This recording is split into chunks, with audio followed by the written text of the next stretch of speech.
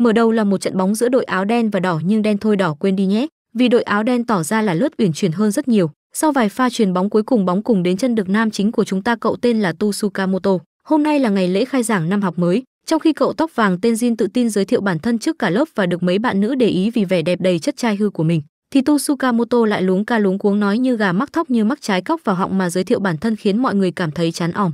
Ra về, vì đội bóng thiếu người nên Jin đành mời người có vẻ thật thà dễ dụ nhất chính là Tu Sukamoto tham gia cho đủ số lượng. Và dĩ nhiên là cậu nhận lời, trên đường đi đến sân bóng cô bạn thủ nhỏ của cậu là Sazuji vô cùng vui vì anh đụt nhà ta có bạn rồi. Bọn họ nhanh chóng đến chỗ hẹn và gặp được Jin đang đứng chờ. Giới thiệu qua loa Jin dẫn Tu Sukamoto đi gặp những đồng đội thân thương thiện lành. Đó là một nhóm giang hồ bặm trợn sẵn sàng xin cái giò của cậu nếu để thua trận. Trận đấu bắt đầu và Tu Sukamoto thành công chạm bóng từ đồng đội bằng cái chân giữa của mình nhìn thôi tôi cũng thấy thốn. Liên tiếp sau đó là những pha phạm lỗi nghiệp dư của Tu Sukamoto. Cậu chỉ biết chạy và chạy hoặc té ngã và tiếp bóng bằng mặt. Hiệp một kết thúc cả bọn lui về nghỉ ngơi thì Sazuji và cả bọn hoảng hốt thì thấy chân của Tu Sukamoto nhuốm đỏ máu. Cậu tháo giày ra thì cô bạn thủ nhỏ ngất luôn tại chỗ còn mọi người thì ngay lập tức muốn cậu rút lui. Dĩ nhiên là cậu từ chối và vẫn rất quyết tâm thi đấu tiếp. Hiệp 2 bắt đầu Tu Sukamoto cố gắng cứu bóng nhưng lại vấp ngã và để mặt mình đập vào tường mà không thể cứu bóng. Đội bạn vươn lên phản công và Tu Sukamoto vô tình dùng mặt mình cứu một bàn thua.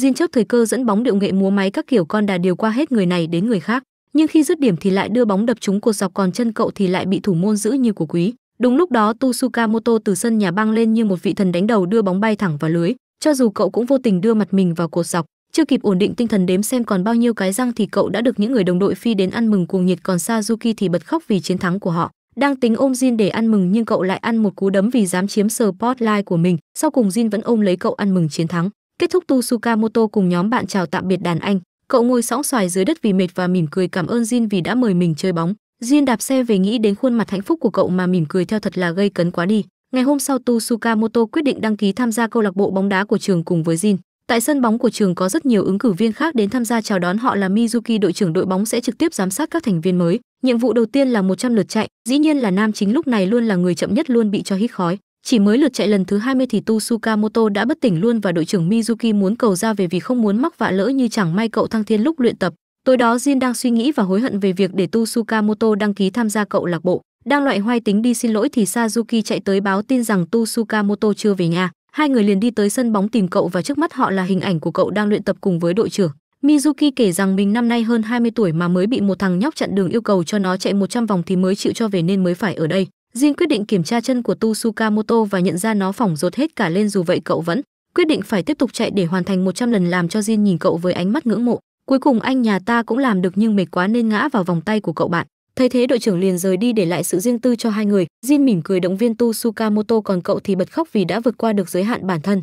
Buổi tập luyện tiếp theo dành cho những người năm nhất khi họ sẽ phải tiếp tục chạy bộ để luyện tập. Tu Sukamoto chạy mệt lử trong bộ dạng yểu điệu chậm chạp về đích muộn nên dẫn tới cả nhóm bị chạy theo một vòng nữa. Mấy thanh niên năm hai là những người giám sát nên thoải mái hành hạ đàn em mà khoái chí, còn Jin thì đứng cạnh họ cổ vũ những người khác dù cậu cũng là năm nhất. Khi được hỏi tại sao không chạy thì do anh đây là Viper rồi kỹ năng top một server nên không phải luyện tập câu trả lời khiến cho đàn anh há mồm á khẩu. Đến tối các thành viên năm nhất đều quá mệt mỏi mà nằm gục ở giữa sân riêng chỉ có Jin là khỏe như vâm vì có phải chạy méo đâu. Jin ân cần đưa nước cho Tu Sukamoto đang nghỉ mệt và cũng ân cầu đưa nước có các thành viên khác bằng các đổ thẳng nó vào mồm họ làm họ suýt chết sặc bất chợt vùng lên là Ku Suzu nhưng không phải để khởi nghĩa mà là để buộc tội Tu Sukamoto. Cậu ta không thể nhịn được nữa mà bảo rằng Tu Sukamoto là một con báo đi bằng hai chân vì kể cả ghi bàn hay truyền bóng thậm chí là chạy. Tu Sukamoto đều làm hỏng dẫn đến cả nhóm phải chạy thêm vòng cho nên chính cậu đã làm cho mọi người chậm lại. Ai cũng vỗ tay cho câu nói chuẩn con mẹ nó chỉnh của Kusuzu còn Tu Sukamoto thì bẽn. Lẹn cầm vạt áo rồi chạy đi làm cả nhóm đổ lỗi cho Kusuzu vì cái tật nói đúng còn nói to. Hôm sau lúc cả bọn ra về thì thấy Tu Sukamoto chạy một mình nên rất lấy làm lạ vì họ sợ rằng có thể mình cũng sẽ phải chạy thêm. Nhưng Kusahaza ở gần đó đã giải thích với họ rằng Tu Sukamoto đã gặp riêng đội trưởng Mizuki để xin được chạy thêm vòng riêng mà không làm ảnh hưởng tới mọi người. Khi được hỏi rằng có vui không thì cậu bảo rằng được luyện tập cùng mọi người khiến cậu rất phấn khích và háo hức dẫu cho khả năng không được ra sân cho đến tận năm ba. Nghe vậy Kusuzu cùng những người bạn bắt đầu cảm thấy tự trách. Sau đó ngày nào cậu ta cũng chứng kiến Tu Sukamoto tập chạy bất kể ngày đêm dù nắng hay mưa lạnh như Hà Nội hay nóng như Sài Gòn. Cho đến một hôm họ bắt đầu cảm thấy khó chịu vì không hiểu sao Tu lại làm như thế thì Jin xuất hiện giải thích rằng lý do cậu ta làm như vậy là chỉ muốn được vui vẻ khi luyện tập chung cùng mọi người mà không phải trở thành gánh nặng. Lúc này Tu vẫn không ngừng chạy nhưng do không chơi đồ nên sức đề kháng yếu làm cậu ngã ngay ra đường, đang cố gắng đứng dậy thì từ sau lưng các anh em chiến hữu bắt đầu đồng hành kề vai sát cánh cùng cậu chạy tiếp. Chứng kiến cảnh tượng đó, Mizuki nói với huấn luyện viên Nakazawa rằng hai năm nữa Tu sẽ là đội trưởng của đội bóng. Vài ngày sau một đợt tập huấn của các trường cao trung được diễn ra, lúc này trường Seiseki là nổi bật nhất với đồng phục màu đen kẻ sọc trắng như mấy anh Juventus. Ai cũng có khuôn mặt như đi đánh trận át lên vẻ khí phách của một trường top một đặc biệt là đội trưởng Mizuki. Người đã thi đấu chuyên nghiệp nhưng nghỉ vì chấn thương còn Jin cũng nổi bật không kém với mái tóc vàng dài cộng hưởng với bộ áo vàng do chưa giặt đồng phục. Lúc này tsukamoto xuất hiện với trái bóng đánh rơi vào chân người khác. Nhìn dáng vẻ yếu ớt cùng sự thân thiện của cậu trong bộ đồng phục trường Seiseki làm ai cũng nghĩ cậu là quản lý, thậm chí còn có người xin cậu xin chữ ký đội trưởng Miyuki hộ mình. Nhưng bất ngờ chưa anh đây là thành viên đội bóng đáy và những người có mặt đều cười cợt vì điều đó. Buổi tập huấn bắt đầu với một cuộc đùa leo núi. Tất cả các đội rất cố gắng vậy nhưng đây không phải là một nhiệm vụ dễ dàng rất nhiều người bỏ cuộc vì kiệt sức. Không có gì ngạc nhiên khi là đội vượt lên dẫn đầu là Seiseki, trong lúc tất cả nghĩ rằng người dẫn đầu đoàn là đội trưởng Mizuki thì anh lại chậm rãi bước đi từ tốn sau lưng họ, cho cả lũ một bất ngờ gây sốc rằng Tu mới chính là người dẫn đầu đoàn. Cậu ta mới chỉ là tay mơ tập chơi bóng thời gian gần đây nhưng Tu chính là động cơ truyền tải nhiệt huyết đến toàn đội Seiseki. Lúc này các đội bóng đang ở nhà ăn tập thể, cả nhóm suýt xoa vì đồ ăn ngon vãi trưởng nhưng chưa kịp nuốt xuống họng thì Tu Sukamoto nghe được lời giễu cợt Jin từ một người bàn bên rằng Jin vẫn cứ lông bông như xưa. Đang tính đứng dậy nói đạo lý và giảng cho tên thô lỗ kia hiểu thế nào là giáo dục công dân lớp 1 thì cậu bị Jin giữ lại bảo là kệ cho hắn sủa đi. Được nước tên kia tiếp tục gáy bẩn chế giễu cả Tu Sukamoto nhưng lần này Jin éo để yên. Cậu cầm một ấm nước sôi mời anh ta uống bằng đầu rồi nhẹ nhàng đánh bại tên đó khi hắn muốn cho cậu ăn đấm. Cả hội trường nháo nhào lên vì vụ ẩu đả làm cho huấn luyện viên phải kêu Jin dừng tay. Tại nhà tắm Tu Sukamoto bén lẽn đi vào với chiếc khăn trên tay trong khi cả lũ được dựa kia đang khởi động cùng nhau. Nhìn bộ dạng bẽn lẹn của cậu Kusuzu nghi ngờ cậu là chim chưa có lông nhưng Tu Sukamoto bảo để mình chết lại đã. Đang ngâm mình trong bồn tắm, cậu hỏi Kusuzu về Jin hồi cấp 2 là người như thế nào. Jin là người được ví như một thiên tài bóng đá, thậm chí có thể một gánh tem easy game, nhưng cuối mùa giải Jin không được thi đấu vì thói lông bông không chịu tập luyện. Tu Sukamoto trở về phòng và bắt gặp Jin lúc này mới bị bạn quản lý của trách xong nhưng vẫn dừng dưng tết độ bật này của đệm. Họ được xếp chung ở một phòng nên đêm đó khi chợt thức dậy Tu Sukamoto lại không thấy Jin ở đâu cả, vậy nên cậu đã đi tìm. Rồi bất ngờ khi chứng kiến Jin bí mật tập luyện một mình một cách hăng say và nhận ra rằng để có thể trở thành một cầu thủ giỏi, Jin đã không ngừng luyện tập kể cả lúc nửa đêm. Tu Sukamoto tiến đến muốn Jin dạy mình cách truyền bóng và được cậu ta đồng ý nhìn cách cậu vui vẻ khi chạm bóng. Jin cảm thấy rất vui và thay đổi thái độ kiêu ngạo trước đây của bản thân kể từ ngày gặp ngày gặp Tu Sukamoto. Sau đó Jin biểu diễn một tuyệt kỹ oách xà lạch đó là một cú đá volley bò cạp siêu đẹp đưa bóng vào lưới làm Tu Sukamoto rộn hết cả lên. Hôm sau cả hai ngủ quên làm cả nhóm phải chờ trong cây cú vì sợ sẽ bị phạt. Tập hợp đông đủ hôm nay họ sẽ đấu tập với trường Omiya với mục tiêu là giành chiến thắng trước đối thủ. Jin không ra sân làm cho những cầu thủ đối phương cảm thấy thất vọng, đặc biệt là tên sủa bậy bị Jin đổ nước vào đầu. Hắn coi thường Tu Sukamoto nên một cái bắt tay giao hữu cũng từ chối làm cho cả bọn cười Tu Sukamoto. Ngay sau khi tiếng coi giao bóng cất lên, cậu không may đỡ hụt bóng làm đối thủ cướp bóng và dứt điểm. May mắn rằng thủ môn đã thi đấu xuất sắc, nếu không Tu Sukamoto sẽ bị bóp cổ vì tội bán nộ. Đội đối thủ nhận ra cậu chính là điểm vàng để khai thác làm cả bọn lại tiếp tục cười cười nhạo cậu. Tosukamoto bình tĩnh nhận ra thứ duy nhất mà cậu có thể làm là chạy. Dù cho có mắc lỗi những cậu vẫn hết mình chạy làm cho đồng đội cũng phải liên tục chạy theo sửa lỗi. Năm hai chứng kiến thì khá ngạc nhiên và rồi cả đám bắt đầu hừng hực khí thế chạy chuyển bóng liên tục làm cho đối thủ lúc này đã kiệt sức phải bất lực trước độ châu chó của họ. Kusuzu, người muốn trình diễn lối đá hoa mỹ đẹp mắt như Jin cũng bị cuốn theo nhịp điệu của tosukamoto mà hết mình cống hiến lan xả. Bật mốt hồi tưởng quá khứ nhận lấy cú cắt bóng đẹp của cậu rồi đánh đầu đưa bóng vào lưới giành chiến thắng. Đối thủ dù thua trận nhưng vẫn tiếp tục gáy bẩn với Tu Sukamoto, nhưng lần này cậu đã có các homie của mình bảo kê nên phản đam lại ngay. Sau trận đấu, cậu có mong muốn được Mizuki hướng dẫn sút bóng và được anh đồng ý dù đang bị chấn thương. Ở sân tập Tu Sukamoto, lần đầu được chứng kiến đội trưởng cười khi chơi bóng. Mizuki bắt đầu cho cậu thử sút bóng nhưng cú đá của cậu quá tệ nên anh đành thị phạm. Bùng cú đá của đôi trưởng mạnh đến mức cậu phải ngã ngửa vì bất ngờ. Đội trưởng bảo cậu rằng phải kiểm soát tinh thần và đồng bộ với quả bóng thì mới cải thiện được. Cậu làm theo và rồi cuối cùng cũng sút được một cú ra hồn. Đúng lúc này, đàn anh năm hai phát hiện ra họ lên tiếng ngăn cản Mizuki đá bóng vì lo ngại chấn thương. Thấy vậy, đội trưởng đành phải rời đi để lại cậu một mình luyện tập. Anh hỏi, cậu cố gắng tập luyện sút bóng là do trận bóng hôm nay đúng không thì câu trả lời lời là mình phải giỏi hơn và không muốn làm gánh nặng cho mọi người. Ra ngoài cùng đám bạn, lúc này Mizuki bắt gặp nhóm năm nhất đang hăng hái đi tập luyện thêm và tỏ ra rất tức giận khi Tu trốn đi tu luyện lẻ trước. Những đàn anh bắt đầu nói rằng Mizuki trước đây rất giống Tu Họ đều là những người tham gia câu lạc bộ khi không biết gì về bóng đá, thế mà chỉ nhờ sự chăm chỉ và luyện tập say mê Mizuki giờ đây đã trở thành cầu thủ giỏi nhất của cả đội. Mizuki được khen thì hơi ngượng anh nhớ về bản thân mình trước đây và cho rằng Tu sau này nhất định sẽ còn tài năng hơn và tạo nên kỳ tích. Tu tiếp tục luyện tập chạy bộ vào mỗi buổi sáng nhưng trong tiết học hôm nay cậu khẩn khoản cầu xin cô bạn Ubushiki trực nhật giúp mình một lần. Người cũng là ban cán bộ lớp nhưng lại luôn đánh bài chuồn éo thèm ở lại trực nhật làm cho cậu lúc nào cũng phải ở lại làm luôn phần của nhỏ. Tsukamoto bảo rằng mình ở trong câu lạc bộ bóng đá nên rất cần thời gian để luyện tập nhưng nhỏ méo thèn ke. lại còn bảo rằng bà mình ốm nặng một năm trời nên mình phải về sớm trong khi mấy cô bạn cười đùa bảo là mới thấy bà nhỏ đi tập bơi hôm qua cơ mà đúng là đứa cháu có hiếu quá. Nhìn bộ dạng thảm hại của cậu Ubusiki cho rằng cậu chỉ là một thằng thảm hại rồi đánh xe về luôn. Lúc này tại sân tập bóng Jin vẫn đang là lướt thể hiện kỹ năng đá bóng siêu đỉnh được các bậc tiền bối đánh gái cao. Còn mấy đứa cùng tuổi thì chỉ biết đứng ngoài nhìn với ánh mắt ghen tị mà quyết tâm nỗ lực. Hôm sau Ubusiki tiếp tục thấy Tu Sukamoto hăng hái luyện tập chạy bộ, bạn bè xung quanh cô cũng cảm thấy thích thú khi chứng kiến cậu chăm chỉ như vậy. Jin tiếp tục đến muộn và viện đủ lý do trước mặt giáo viên, thậm chí là sâu body cực mờ lem ra để mua chuộc thầy cùng bạn nữ cả lớp. Cuối buổi Ubusiki tiếp tục đưa bà ra làm lý do để trốn trực nhật quả là đứa cháu có hiếu nhất tôi từng gặp. Cô cảm thấy khó hiểu vì tại sao Tu Sukamoto lại cố gắng như vậy vì bóng đá dù cho thể chất cũng như khả năng của cậu không có. Điều này làm cô nhớ tới sự thất bại của bản thân trước kia.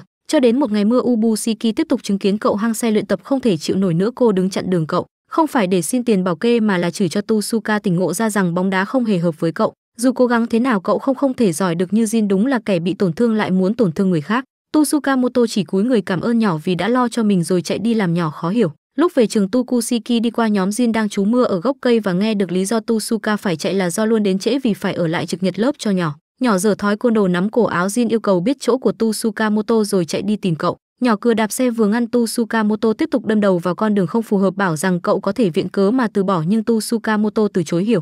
Cậu nói rằng bóng đá là thứ khiến cậu hứng thú và muốn theo đuổi dù thất bại nhưng nó sẽ khiến cuộc sống của cậu có ý nghĩa hơn. Câu nói làm cho cô tỉnh ngộ dừng xe và chỉ biết nhìn cậu tiếp tục chạy. Ubusiki về nhà và nhớ về tuổi thơ và đam mê của mình trước đây cô bắt đầu cảm thấy rằng cậu rất đặc biệt. Tại sân luyện tập của đội bóng Tsukamoto thường xuyên bị Kusuzu vượt bóng đánh lừa dễ dàng. Cậu bắt đầu tò mò cách đề phòng ngự và không bị dê bóng qua háng mất ba chục ca. Nghe thế Kusuzu tức giận đỏ mặt mà chỉ dạy cho cậu. Hôm sau Ubusiki cùng những người bạn tiếp tục sai vật Tsukamoto và khoái chí trước sự thật thà hiền lành của cậu. Một tên cao to thấy thế thì ghen tị ra mặt. Tại buổi thể dục Tsukamoto bất cẩn làm quên mất bộ đồng phục nên đành phải mặc đồ luyện tập của đội bóng. Điều này làm cho cậu nổi bật nhất trong đám tên cao to thấy thế thì bảo rằng cậu mặc để thể hiện hả rồi đỡ bóng chạy đi nhằm thể hiện trình độ của mình Tu Sukamoto không chịu thua. Cậu sọc chân cản bóng thần sầu rồi sau đó là những pha cản phá liên tiếp khiến các bạn nữ hò hét khoái khoái. Tên cao to thấy thế thì tức giận quyết làm pha cuối nhưng Tu Sukamoto đã dọc hắn như một quyển sách, nhẹ nhàng chặn bóng và cả hai bắt đầu một cuộc đấu sức giành bóng. Tu Sukamoto dễ dàng giành được bóng nhưng trong giây phút cậu sắp ghi bàn thì đối thủ lại giở cho hèn hạ nắm lấy áo. Thấy thế Ubusiki hét lên cố vũ cho cậu quyết không được để thua tên kia. Có được vitamin gái, Tu Sukamoto lao lên như được búp sức mạnh mà ghi bàn hụt. Đang ôm cánh tay chảy xước thì cậu gặp được Ubusiki đứng chờ và khen cậu nhưng vì là một tên nhát gái nên cậu chả nói được gì. Hôm sau Ubusiki quyết định ở lại trực nhật để cậu có thời gian luyện tập với đội bóng làm ai cũng bất ngờ. Jin chọc cậu vì dạo này có vẻ thân với cô thì bị củ não. Tại sân bóng đội trưởng tuyên bố đội bóng đã có quản lý chính là Ubusiki làm ai nấy cũng thấy bất an còn cậu thì rất vui và cô cũng vậy. Hôm nay Tsukamoto ở lại giúp đàn anh Kasaha ra luyện tập đến tối khuya cùng với Jin. Kết thúc buổi tập họ cùng nhau đi ăn tối Tu Sukamoto hết lòng khen ngợi đàn anh của mình còn Jin thì thẳng thắn nhận xét thiếu sót của đàn anh. Đúng là người giỏi nói gì cũng đúng Kasaha ra cười lớn mà thừa nhận. Anh cũng nói rằng giải liên trường sắp tới đội chỉ chọn 17 người và rất mong mình có thể là được chọn vì là mùa giải cuối bản thân tham gia. Tu Sukamoto tỏ ra rất ngạc nhiên và buồn bã khi nghe thế, ra về dù cho Kasaha ra tỏ ra thản nhiên trước cơ hội mình được chọn là rất thấp nhưng Jin nói với Tu Sukamoto rằng lý do đây là mùa giải cuối của anh là vì anh sắp chuyển đi vì bà bị ốm. Anh ấy thật sự rất chăm chỉ và quyết tâm để giành được một slot tham gia đội hình chính thức nghe vậy Tu Sukamoto chỉ biết cổ vũ cho người đàn anh. Hôm sau cậu tiếp tục bị Ubusiki sai vặt và rồi lại tiếp tục giúp anh Kasaha ra luyện tập. Tại buổi công bố 17 người được chọn để đi thi đấu, ai cũng tỏ ra hồi hộp. Dần dần những cái tên máu mặt được đọc lên trong đó có cả Jin vì gọi kỹ năng Viper rồi của cậu ta là cái ghế vì nó không phải bàn. Tsukamoto hồi hộp cầu nguyện cho anh Kasaha được chọn nhưng bất ngờ thay người được lại là Tsukamoto. Huấn luyện viên không giải thích gì thêm liền rời đi còn những thành viên khác thì vô cùng bất ngờ vì người được chọn không phải là Kasahaza. Anh Kasahaza đứng dậy hẹn Tu Sukamoto gặp mặt ở sân bóng làm cậu sốt hết cả ruột. Còn anh thì chui vào nhà vệ sinh lén khóc, nhìn chiếc áo số 17 cậu lưỡng lự còn Jin thì tiến đến động viên cậu hãy tự tin lên. Tại buổi chiều ở sân bóng cậu tiến đến gặp đàn anh Kasahaza nhưng không phải để bị ăn đấm mà là được anh huấn luyện riêng kỹ năng sút bóng làm Tu Sukamoto cảm động mà bật khóc. Tại vòng đấu bảng giữa trường Seiseki và trường Tateyama. Tsukamoto với vai trò dự bị bị Ubusiki sai vặt các công việc của ban quản lý vì cho rằng cậu có cái nịt mà được ra sân. Ngồi trên ghế Tsukamoto hồ hởi cố vũ cho đội nhà trong khi những người khác thì ngồi xem với khuôn mặt như đi đánh trận. Hàng loạt các cơ hội dành cho đội xe Seiki đến rồi đi, Jin xuất sắc dẫn bóng nhưng dứt điểm vào mắt người xem. Người thủ môn nói rằng nhịp độ trận đấu quá chậm và lề mề sẽ rất nguy hiểm nếu họ bị phản công và dẫn bàn. Huấn luyện viên nhìn đội nhà đá mà chán éo muốn nói vì họ di chuyển cứ như đang đá tại sân bùn. Đang chán thì thấy Tu Sukamoto tăng động nhức óc quá nên ra lệnh cho cậu vào sân trước sự ngạc nhiên của toàn đội. Người đàn anh mang số 11 được thay ra động viên cậu bằng một cú húc đầu còn Jin thì vui vẻ khi cậu vào sân. Những thành viên khác bắt đầu lấy lại tinh thần trước sự ngu nghê và thái độ quyết thắng của cậu. Điều đó là cho khán giả tưởng rằng Tu Sukamoto là một siêu dự bị nhưng bất ngờ chưa. Cậu liên tiếp kiểm soát bóng hụt và làm cho cười nhưng cậu không bỏ cuộc. Chạy và chạy Tu Sukamoto nỗ lực hết mình và rồi thành công giữ lại được quả bóng trước khi nó lăn ra ngoài vạch biên trước sự ngỡ ngàng của tất cả. Nhìn sự nhiệt huyết của Tu Sukamoto cả đội bắt đầu được búp vitamin chai hăng hái đẩy nhanh tiến độ trận đấu, liên tục tấn công vào khung thành đối phương, còn đám dự bị cùng khán giả thì phấn khích hò hét cổ vũ. Chứng kiến cảnh đó làm cho Ubushiki vô cùng ngạc nhiên xen lẫn ngưỡng mộ. Trận đấu kết thúc cậu và Ubushiki cùng về bằng tàu điện ngầm, Tu Sukamoto ủ rũ vì mình chẳng làm được gì cả. Đã thế còn phạm lỗi dẫn đến việc nhận thẻ và phải nhờ ông bà gánh còng lưng thủ môn mới đỡ được quả đá phạt tạo cơ hội cho Jin ghi bàn phản công tạo nên chiến thắng. Ubushiki tức giận quát mắng cậu vì sự ủ rũ tự trách đó làm cho mọi người trong toa tàu đều chú ý. Cô đưa cho cậu chiếc máy quay rồi hầm hực xuống ga, mở chiếc máy quay lên cậu vô cùng xúc động trước sự nhiệt tình cổ vũ của mọi người dành cho mình và đội bóng mà bật khóc. Đang tính xuống tàu thì bị giữ lại bởi một thanh niên, anh ta xem cái đoạn băng và bị cảm động tự giới thiệu mình là Cao Du đội trưởng đội bóng Saku. Anh ta lau nước mặt và bảo rằng mình muốn chơi bóng cùng cậu làm cho cậu bối con mẹ nó dối luôn. Ngồi trên tòa tàu Cao Du biểu diễn trò trái bóng cùng ngón tay khiến Tu Sukamoto vô cùng kinh ngạc. Anh còn giới thiệu mình là bạn của đội trưởng Mizuki và bảo rằng nếu cậu ta khỏe lại thì Tu Sukamoto khó mà được ra sân cho nên anh dẫn cậu đến một trung tâm thể thao nơi mà cậu trố mắt ngắm nghía các bạn nữ vui đùa cùng trái bóng tiếc là không phải bóng của cậu. Cao Du rủ cậu chơi một trận sân bóng trong nhà và dẫn cậu đến đó hai người được phân ra hai đội khác nhau. Các thành viên trong đội Tu Sukamoto tỏ ra rất ngưỡng mộ cậu vì cậu mặc áo đội Seiseki còn cậu thì ái ngại cúi đầu lia lịa. Cao Du thì còn nổi bật hơn cả dù cậu ta đang làm trò con bò với trái bóng nhưng ai cũng biết cậu ta là một con. Quái vật trên sân cỏ có thể gánh tem 20 phút GG làm cho Tu Sukamoto vô cùng phấn khích khi nghe được. Trận bóng bắt đầu chỉ vói một đường truyền cơ bản đội của Cao Du đã dễ dàng ghi bàn mở tỷ số. Liên tiếp sau đó là những pha kiến tạo đẹp như mơ của Cao Du khiến đội Tu Sukamoto bị dập tới tấp dập cho tơi bời thở không nổi. Hiệp một kết thúc với tỷ số 10 không nghiêng hẳn về đội Cao Du giờ thì chỉ có chúa mới giúp đội Tu Sukamoto lật được cái bàn. Ngồi nghỉ các thành viên bắt đầu bàn luận về kỹ năng tuyệt đỉnh của Cao Du nhưng lạ thay anh ta chỉ truyền bóng chứ không thèm dứt điểm. Nghe vậy thì Tsukamoto nghĩ rằng cậu ta đang cố kìm hãm bản thân cho nên khi hiệp 2 bắt đầu, Tsukamoto tiến tới chỗ Cao Du vui vẻ bảo cậu ta cứ bung lộ thoải mái mà không cần giấu giếm kỹ năng của mình như vậy làm cho Kazu tỏ ra khó hiểu. Cậu ta bảo rằng cậu đã hiểu nhầm rồi lý do cậu ta chuyển bóng là vì tỷ lệ ghi bàn sẽ cao hơn. Cậu ta luôn luôn nghiêm túc trong mỗi trận bóng vì bóng đá chiến thắng chính là thứ mà Cao Du nhắm tới. Nói rồi cậu ta hỏi cậu rằng muốn thấy Tsukamoto chơi bóng kiểu gì làm cậu đứng ngớ người suy nghĩ. Hiệp 2 bắt đầu và lần này Cao Du tung ra cú sút đầy uy lực làm cho lưới của đội đối thủ rung bần bật như máy đấm lưng. Không những thế, cậu ta còn rất giỏi cản phá bóng làm cho đội của Tu không thể ghi bàn tỷ số bây giờ đã là 20 không. Thấy vậy Tu quyết tâm phải ghi cho được một bàn danh dự phải cho Cao Du thấy kiểu bóng đá của mình. Cậu chạy và chạy thu hút đi sự chú ý của đội bạn tạo ra khoảng trống cho đồng đội truyền bóng và ghi bàn. Cả nhóm vui vẻ ăn mừng, còn Tu thì cảm thấy cùng hạnh phúc. Trận đấu cứ thế tiếp diễn cho đến khi Cao Du phải gọi cho đội trưởng Mizuki đến đón Tu Sukamoto vì cậu mệt quá mà ngủ thiếp đi. Trước khi đội trưởng ẵm của nợ này về thì Cao Du nhắn anh rất mong chờ vào trận đấu giữa hai chúng ta. Ngày hôm sau tại phòng dụng cụ cả nhóm năm nhất đang loáy hoáy chuẩn bị đồ thì Jin phát hiện ra đế giày của Tu Sukamoto đã mòn hết. Đột nhiên đàn anh Kimishita bước vào với thái độ muốn ăn tươi nuốt sống người khác. Anh ta hỏi rằng ai đã để quên đồ ở sân tập. Kusuzu ái ngại thừa nhận để rồi bị Kimishita đe dọa không được tái phạm một lần nữa nếu không sẽ thiến cậu. Cả hai đến một tiệm bán dụng cụ thể thao để mua đôi khác giày khác cho Tu Sukamoto nhưng bất ngờ là anh Kimishita lại là ở đó. Hóa ra cửa hàng là của nhà anh ấy mà cậu lại cứ tưởng là anh trốn câu lạc bộ làm thêm giờ. Kimishita đưa tiền cho Jin bảo đi mua hộ mình cái kem để lại không gian riêng tư cho mình với Tu Sukamoto. Anh hỏi cậu đến đây làm gì thì cậu bảo là đến cửa hàng dụng cụ thể thao không lẽ để mua cá. Thấy thằng nhóc láo quá nên Kimishita chém giá cắt cổ cho cậu rồi anh ta bảo rằng mình sẽ không bao giờ truyền bóng cho Tu Sukamoto vì cậu đá quá tệ. Dù đội bóng và huấn luyện viên chọn cậu nhưng anh thì không. Tu buồn bã tâm sự với Jin cách để được nhận bóng thì Jin nói như nói rằng được truyền thì nhận. Lúc này tại cửa hàng anh Kimishita nhìn thấy đôi giày cũ mà cậu để quên thắc mắc tại sao chỉ hai tháng mà đinh đã mòn hết. Sáng hôm sau Kimishita với thái độ hầm hực tìm đến đám năm nhất làm ai cũng xón hết cả quần duy chỉ Tu là niềm nở đáp lại. Anh Kimishita đưa cho cậu đôi giày cũ đã được anh sửa lại rồi bảo rằng cậu đã rất trân trọng nó nên anh mới giúp. Tại trận đấu tập Kimishita kiên quyết không truyền bóng cho cậu lúc này cậu bật mốt hồi tưởng lại trận đấu với Cao Du và lời của Jin và nhận ra, chạy thôi là chưa đủ mà còn phải biết chọn chỗ di chuyển thông minh để cho đồng đội dễ dàng truyền bóng. Nhận ra thằng đàn em ngu lâu rốt bền đã thông minh lên Kimishita đánh cược truyền bóng cho cậu khi mà cậu giờ đây không bị ai kèm cặp.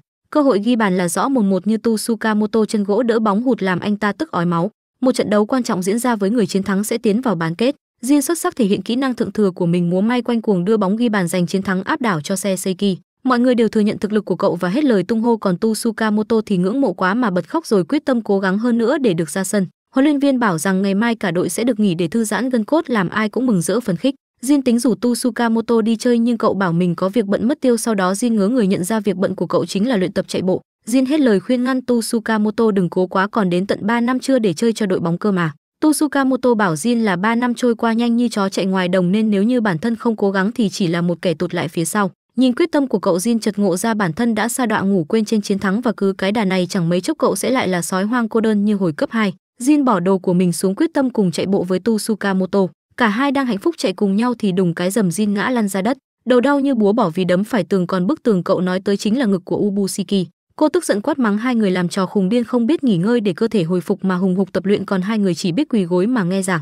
Trận bán kết diễn ra và tại phòng thay đồ lúc cả đội đang hội ý Ubusiki thông báo Tu Sukamoto vẫn đang ở trong nhà vệ sinh. Lúc này cậu đang thư thả xả cơn lũ thì bất chợt một thanh niên nhìn như con gái may mà cậu ta đứng đáy nếu không tôi cũng nhầm. Cậu thanh niên kia nói mình cao hơn trong khi thực tế là đang nhón chân ăn gian và bảo rằng mình là em trai cao du và được anh nói rất nhiều về Tu Sukamoto cho mình nghe. Cậu ta rời đi với lời nhắn nhủ nếu ghi bàn thì sẽ được chơi chính thức làm Tu Sukamoto đứng được ra suy nghĩ. Đội trưởng Mizuki đến tìm cậu bảo là đi vệ sinh làm gì mà lâu dữ. Huấn luyện viên hỏi anh ta có ra sân được không nhưng dù đội trưởng bảo là Osuke, ông cũng chẳng cho anh ra vì lo ngại chấn thương của anh. Trận bán kết diễn ra không khí cổ vũ sôi động khiến cho Tu vô cùng phấn khích, còn đội trưởng thì đang cay cú rung đùi vì không được ra sân. Đội Saku cùng Cao Du và cậu thanh niên kia cũng theo dõi và cho rằng trận này đội xe Seiki được đánh giá cao hơn đối thủ. Rất nhanh họ đã dẫn bóng chuẩn bị ghi bàn nhưng đội thủ như những cầu thủ Ido không nhắm vào bóng mà nhắm vào chân Jin mà triệt hạ. Dù vậy trọng tài vẫn éo hề rút thẻ cho nên đội đối thủ càng ngày càng trở nên hung bạo. Cứ tiếp tục đá chân chứ éo chịu đá bóng thấy tình hình rất căng thẳng và các cầu thủ đội mình hoàn toàn có thể phải nằm cáng vào viện hết. Huấn luyện viên quyết định tung Tu Sukamoto vào sân chắc là để cậu làm con bài thế thân. Tu Sukamoto ra sân với tâm thế bồn chồn vì đây là trận đấu quan trọng, nhưng nhanh chóng lấy lại tinh thần trước sự cổ vũ của mọi người. Cậu chạy hết tốc lực tham gia vào những pha lên bóng và dối khi Kimishita tạt được quả bóng đẹp cho Jin nhưng Jin thay vì nhắm vào lưới lại đè cột dọc mà nhắm làm bóng bật ra. Tu Sukamoto nhân cơ hội lao lên ghi bàn bằng đầu, nhưng đối phương lại chơi xấu đưa chân đá vào người cậu làm cậu bất tỉnh con mẹ nó luôn. Thấy cậu mới vào sân bằng hai chân mà giờ phải đi ra bằng cáng đội đối thủ cười nhạo cậu.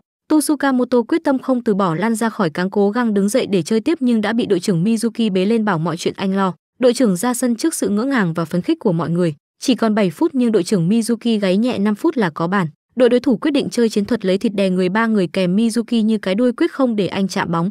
Trận đấu bắt đầu Mizuki ung dung chạy về sân nhà khiến ba tên kia đi theo còn Jin thì đang dẫn bóng đi lên. Thấy cơ hội đã tới, Mizuki kể chuyện cười gì mai làm ba tên kia phân tâm rồi bức tốc chạy lên khiến bọn chúng phản ứng không kịp. Bọn chúng bám vào áo anh nhưng cũng vô dụng vì anh là cỗ máy châu bò nhất hệ mặt trời. Trong khoảnh khắc bóng bay lên thì Mizuki bật nhảy cực cao như Ronaldo đánh đầu đưa bóng vào lưới. Kỹ năng của đội trưởng Mizuki khiến ai cũng kinh ngạc, đặc biệt là Tsukamoto. Trận đấu kết thúc chiến thắng thuộc về Seiki còn đội trưởng Mizuki thì động viên Tsukamoto cứ ngưỡng cao đầu vì cậu đã rất có ích. Cậu và Jin sau đó bắt gặp chàng trai đứng đái cùng mình trong nhà vệ sinh và biết được rằng cậu ta là cầu thủ giỏi nhất của trường cao trung Saku. Cả đội đang được huấn luyện viên cho xem đoạn bằng ghi lại trận bán kết của trường Saku đối thủ tiếp theo của họ. Ở đó đội Saku dễ dàng nấc cho đối thủ tơi tả với quả hát trích tuyệt phẩm đến từ vị trí tiền đạo khiến ai cũng trầm trồ. Huấn luyện viên nói rõ rằng đây là đội hình mạnh nhất của trường Saku với bốn mũi nhọn là thủ môn Junka hậu vệ, Taju và trung vệ Cao Du đặc biệt nhất chính là tiền đạo trung tâm Suji người ghi bàn nhiều nhất mùa giải. Ai cũng cảm thấy họ thật tuyệt vời, trong đó Tsukamoto nhìn họ với ánh mắt ngưỡng mộ. Huấn luyện viên cũng nói rằng đội họ cũng rất mạnh với ba mũi nhọn chính. Tiền đạo kỹ thuật thượng thừa Jin người đang ngủ gật tuyến giữa Kichi người đang đứng dậy với ánh mắt thấy anh mày bá chưa và cánh trái Hisahito Mizuki người cởi áo khoe body sáu múi. Kết thúc buổi họp Tsuka tính trở về luyện tập thì bị đồng đội chặn đường ngăn lại vì lo cậu sẽ cố quá mà quá cố, còn Jin thì hí hứng đi. Ra trong bộ dạng yêu đời nhưng lại thay đổi thái độ mà bảo với cô bạn Sazuji rằng mình quá may mắn khi được đối đầu với trường Saku. Tsukamoto vui vẻ đến nơi mẹ mình làm việc. Bà ngồi trên xe lăn và đang chơi cùng các em nhỏ. Bởi vì hôm nay được về sớm nên cậu muốn được về cùng mẹ khiến bà rất vui. Ở nhà mẹ cậu khoe chiếc áo đấu của cậu đã được mình giặt sạch sẽ khiến Tosukamoto vô cùng vui mà nhận nó. Mẹ cậu bảo rằng không thể tin được là cậu ở trong đội hình chính mà mai lại còn là trận chung kết. Tiếng kêu của máy nóng lạnh kêu lên Tosukamoto liền đi tắm trước còn mẹ câu thì dõi theo cậu mà lo lắng vì người cậu bây giờ toàn những vết xước. Đang quyết tâm phải chăm sóc con trai kỹ hơn thì tiếng điện thoại kêu lên làm bà hú hồn. Thấy điện thoại con trai bỗng có nhiều tin nhắn gửi đến, mẹ Tu Sukamoto bật mốt bà mẹ Việt Nam nghĩ rằng cậu có người yêu hoặc đang bị bắt nạt. Bà lưỡng lự mở máy cậu ra đọc trộm tin nhắn nhưng rồi lại cảm động vì trong đó là những tin nhắn động viên và quan tâm Tu Sukamoto tới từ những đồng đội. Họ an ủi cậu và dặn dò cậu phải biết nghỉ ngơi điều độ không được luyện tập quá sức làm cho bà hiểu rằng không chỉ mỗi mình quan tâm đến Tu Sukamoto. Đang dâng trào cảm xúc thì cậu bước ra làm bà hú hồn suýt làm rơi điện thoại. Biết được những tin nhắn quan tâm của bạn bè gửi cho mình Tu Sukamoto vô vùng xúc động mà hạnh phúc, kể với mẹ về chấn thương mình gặp phải trong trận đấu và sự quan tâm của bạn bè. Trong lúc đó, các thành viên chủ chốt trong đội bóng đang chuẩn bị tinh thần cho trận chung kết. Huấn luyện viên đến của hàng Kimishita dặn dò cậu hãy giúp cho những tài năng chủ chốt bên mình được bay cao. Kimishita cũng nhận ra chủ chốt thứ tư mà ông không nói tới chính là cậu. Sáng hôm sau Tu Sukamoto tích cực chuẩn bị cho trận chung kết, nhưng mẹ cậu vì có việc bận nên không tới xem được. Vừa chạm mặt nhau tại sân bóng, cả hai bên đã lao vào khè nhau, trong khi hai vị huấn luyện viên thì vẫn thản nhiên nói chuyện trao đổi vui vẻ với nhau.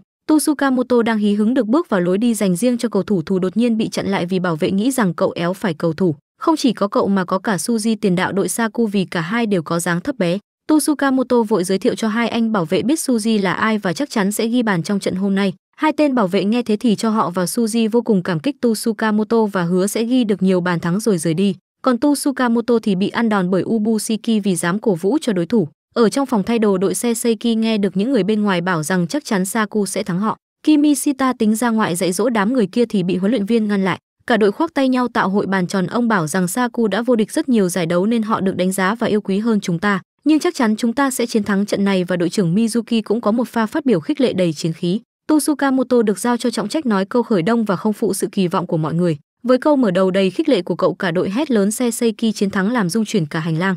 Mỗi người đều được Tsukamoto bắt tay khích lệ rồi bước ra khỏi đường hầm bước vào sân đấu. Ở đây các khán giả điền cuồng cổ vũ cho trận chung kết thư hùng giữa trường Seiseki và trường Saku.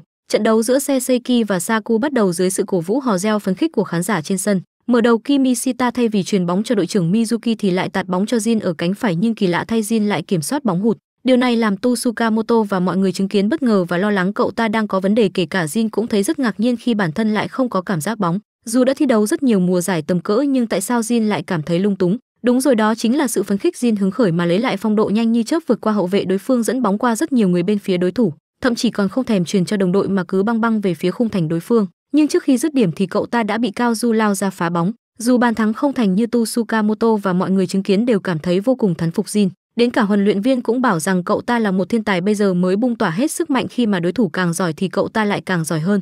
Jin dù không ghi được bàn nhưng cũng đem về cho đội một quả phạt góc. Cao Du nhận ra rằng đội xe Seiki tưởng chừng như bị lãng quên giờ đây đã được hồi sinh nhờ sự góp mặt của hai tân bình năm nhất. Jin đưa bóng lên muốn làm lại một quả solo vào khung thành đối thủ nhưng bất ngờ thay bóng trong chân cậu giờ đây lại nằm trong tầm kiểm soát của Suji tiền đạo đối phương. Cậu ta nhanh như chớp dẫn bóng vượt qua lần lượt hàng hậu vệ của đội xe Seiki trong sự bất lực cản phá của cầu thủ đối thủ. May mắn thay thủ môn đã tập trung hết sức cản phá trái bóng cứu một bàn thua trông thấy. Suji nuối tiếc vì pha vừa rồi dứt điểm không đẹp, cậu ta đến cạnh Jin khoe rằng mình đã vượt qua được 5 người nhưng không thấy Jin phản hồi thì chán rồi bỏ đi. Thấy được sự đáng sợ của cậu ta, bốn người thuộc hàng phòng ngự quyết định khi trái bóng lăn sẽ tập trung kèm cặp cậu ta đến nơi đến chốn. Lúc này cô bạn Sazuji mới mò tới xem trận đấu thì bắt gặp cảnh Suji hành cho bốn người kia ra bã. Không cách nào mà họ có thể ngăn cản được cậu ta vì chỉ cần áp sát là sẽ bị vượt qua còn đứng đối diện thì vẫn bị cậu ta dẫn bóng vượt mặt. Quả bóng lăn ra vạch trắng lần này là một quả ném biên cho Seiseki. Nhìn gian hậu vệ đối thủ thở dốc thề cả lưỡi Suji mỉm cười khiêu khích họ mà cao ngạo rời đi. Kimishita đang cay cú thì gặp cản Tu Sukamoto truyền bóng nhưng lại chạy tít sang bên hàng ghế của trường đối phương để đưa. Đang tính chửi trong một trận thì cả đội được fan cười phớ lở nên tạm bỏ qua. Lần này Kimishita truyền bóng cho Jin rồi lao nhanh lên cậu ta nhắm tới con quái vật còn lại của đội mình chính là đội trưởng Mizuki. Đỡ bóng đội trưởng Mizuki dẫn bóng chạy băng băng về phía khung thành đối thủ dễ dàng vượt qua hậu vệ đối phương và dứt điểm ở cự ly 40m. Cú sút mạnh đến mức thủ môn đội bạn phải dùng hai nắm đấm để đẩy nó ra giúp đội xe Seiki hưởng một quả phạt góc. Cao Du ngay lập tức phái ba thằng đệ kèm cặp Mizuki đến nơi đến trốn còn Kimishita tiếp tục thực hiện quả đá phạt góc. Nhìn khuôn mặt phớ lớ hiện chữ truyền bóng cho bố mày của Mizuki, Kimishita hiểu được ngay ý đồ của anh. Nhưng dù không muốn truyền, Kimishita vẫn quyết định tạt một cú đá cao thẳng đến vị trí của Mizuki. Anh ta ngay lập tức thực hiện một cú vô lê tuyệt đẹp, mỗi tội nó không bay vào khung thành đối phương do thủ môn bảo là éo cho. Kichi nhìn Mizuki với tâm thế hừng hực mà ngạc nhiên, còn anh thì bảo rằng mình nóng máy lắm rồi. Ở ngoài đường tuyết huấn luyện viên bảo Tu Sukamoto hãy chăm chú quan sát vì Mizuki có một thông điệp gửi cho cậu và toàn đội. Anh đã gặp huấn luyện viên trước đó và được căn dặn là phải giữ sức vì vẫn còn chấn thương, nhưng ở trận đấu này anh muốn nỗ lực hết mình. Trước đây khi Mizuki tham gia đội bóng, anh như chú chuột bị thả giữa bầy sư tử, nhưng nhờ có ông của mình động viên, anh mới có thể tiếp tục cố gắng.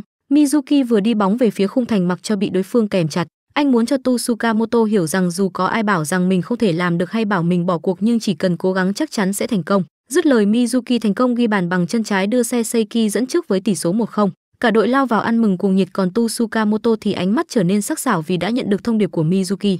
Bị dẫn trước đội Saku nhanh chóng hội ý bàn chiến thuật. Họ bắt đầu tranh cãi khi Cao Du bắt đầu xả lơ về việc mọi thứ đều nằm trong tầm tay trí óc của mình. Dù vậy, cả đội nhanh chóng lấy lại tinh thần để tìm cơ hội gỡ bàn làm cho Tu Sukamoto nhớ lại cậu nói bản thân sẽ làm mọi thứ để giành chiến thắng của Cao Du. Cao Du nhận ra hàng công của đối thủ rất mạnh nên họ cần tìm cách gỡ hòa. Khi tiếng còi vang lên và bóng được truyền đi thì bất ngờ thay Jin lại là người đi theo kèm sát Cao Du làm mọi người vô cùng bất ngờ. Lý do là bởi huấn luyện viên đã dặn cậu là trong trường hợp dẫn bàn bắt buộc phải kìm hãm Cao Du. Chỉ cần làm được như thế thì họ thắng chắc nhưng đời không như là mơ khi bất chợt lưới của đội xe Seiki rung lên. Đội Saku đã cân bằng tỷ số và người vừa ghi bàn chính là Cao Du còn Jin lúc này thì đang ngồi sõng xoài không phản ứng được gì. Jin bàng hoàng nhớ lại sự khủng khiếp của Cao Du khi anh ta dễ dàng dùng tốc độ thoát khỏi kèm cặp rồi nhanh chóng đưa ra quyết định xử lý bóng mà ghi bàn. Cao Du niềm nở đến bên cạnh Jin mà nói, chú em cũng giỏi đấy, nhưng muốn kèm anh thì chờ thêm 2 năm nữa đi nhé. Tosukamoto lo lắng nhìn Jin lúc này đang lúi húi đi theo Cao Du trong bộ dạng không còn khí thế. Rất nhanh cậu ta đã lấy lại được sự điềm tĩnh dù cho sau đó Jin rất chật vật và khó khăn trong việc kèm cặp Cao Du.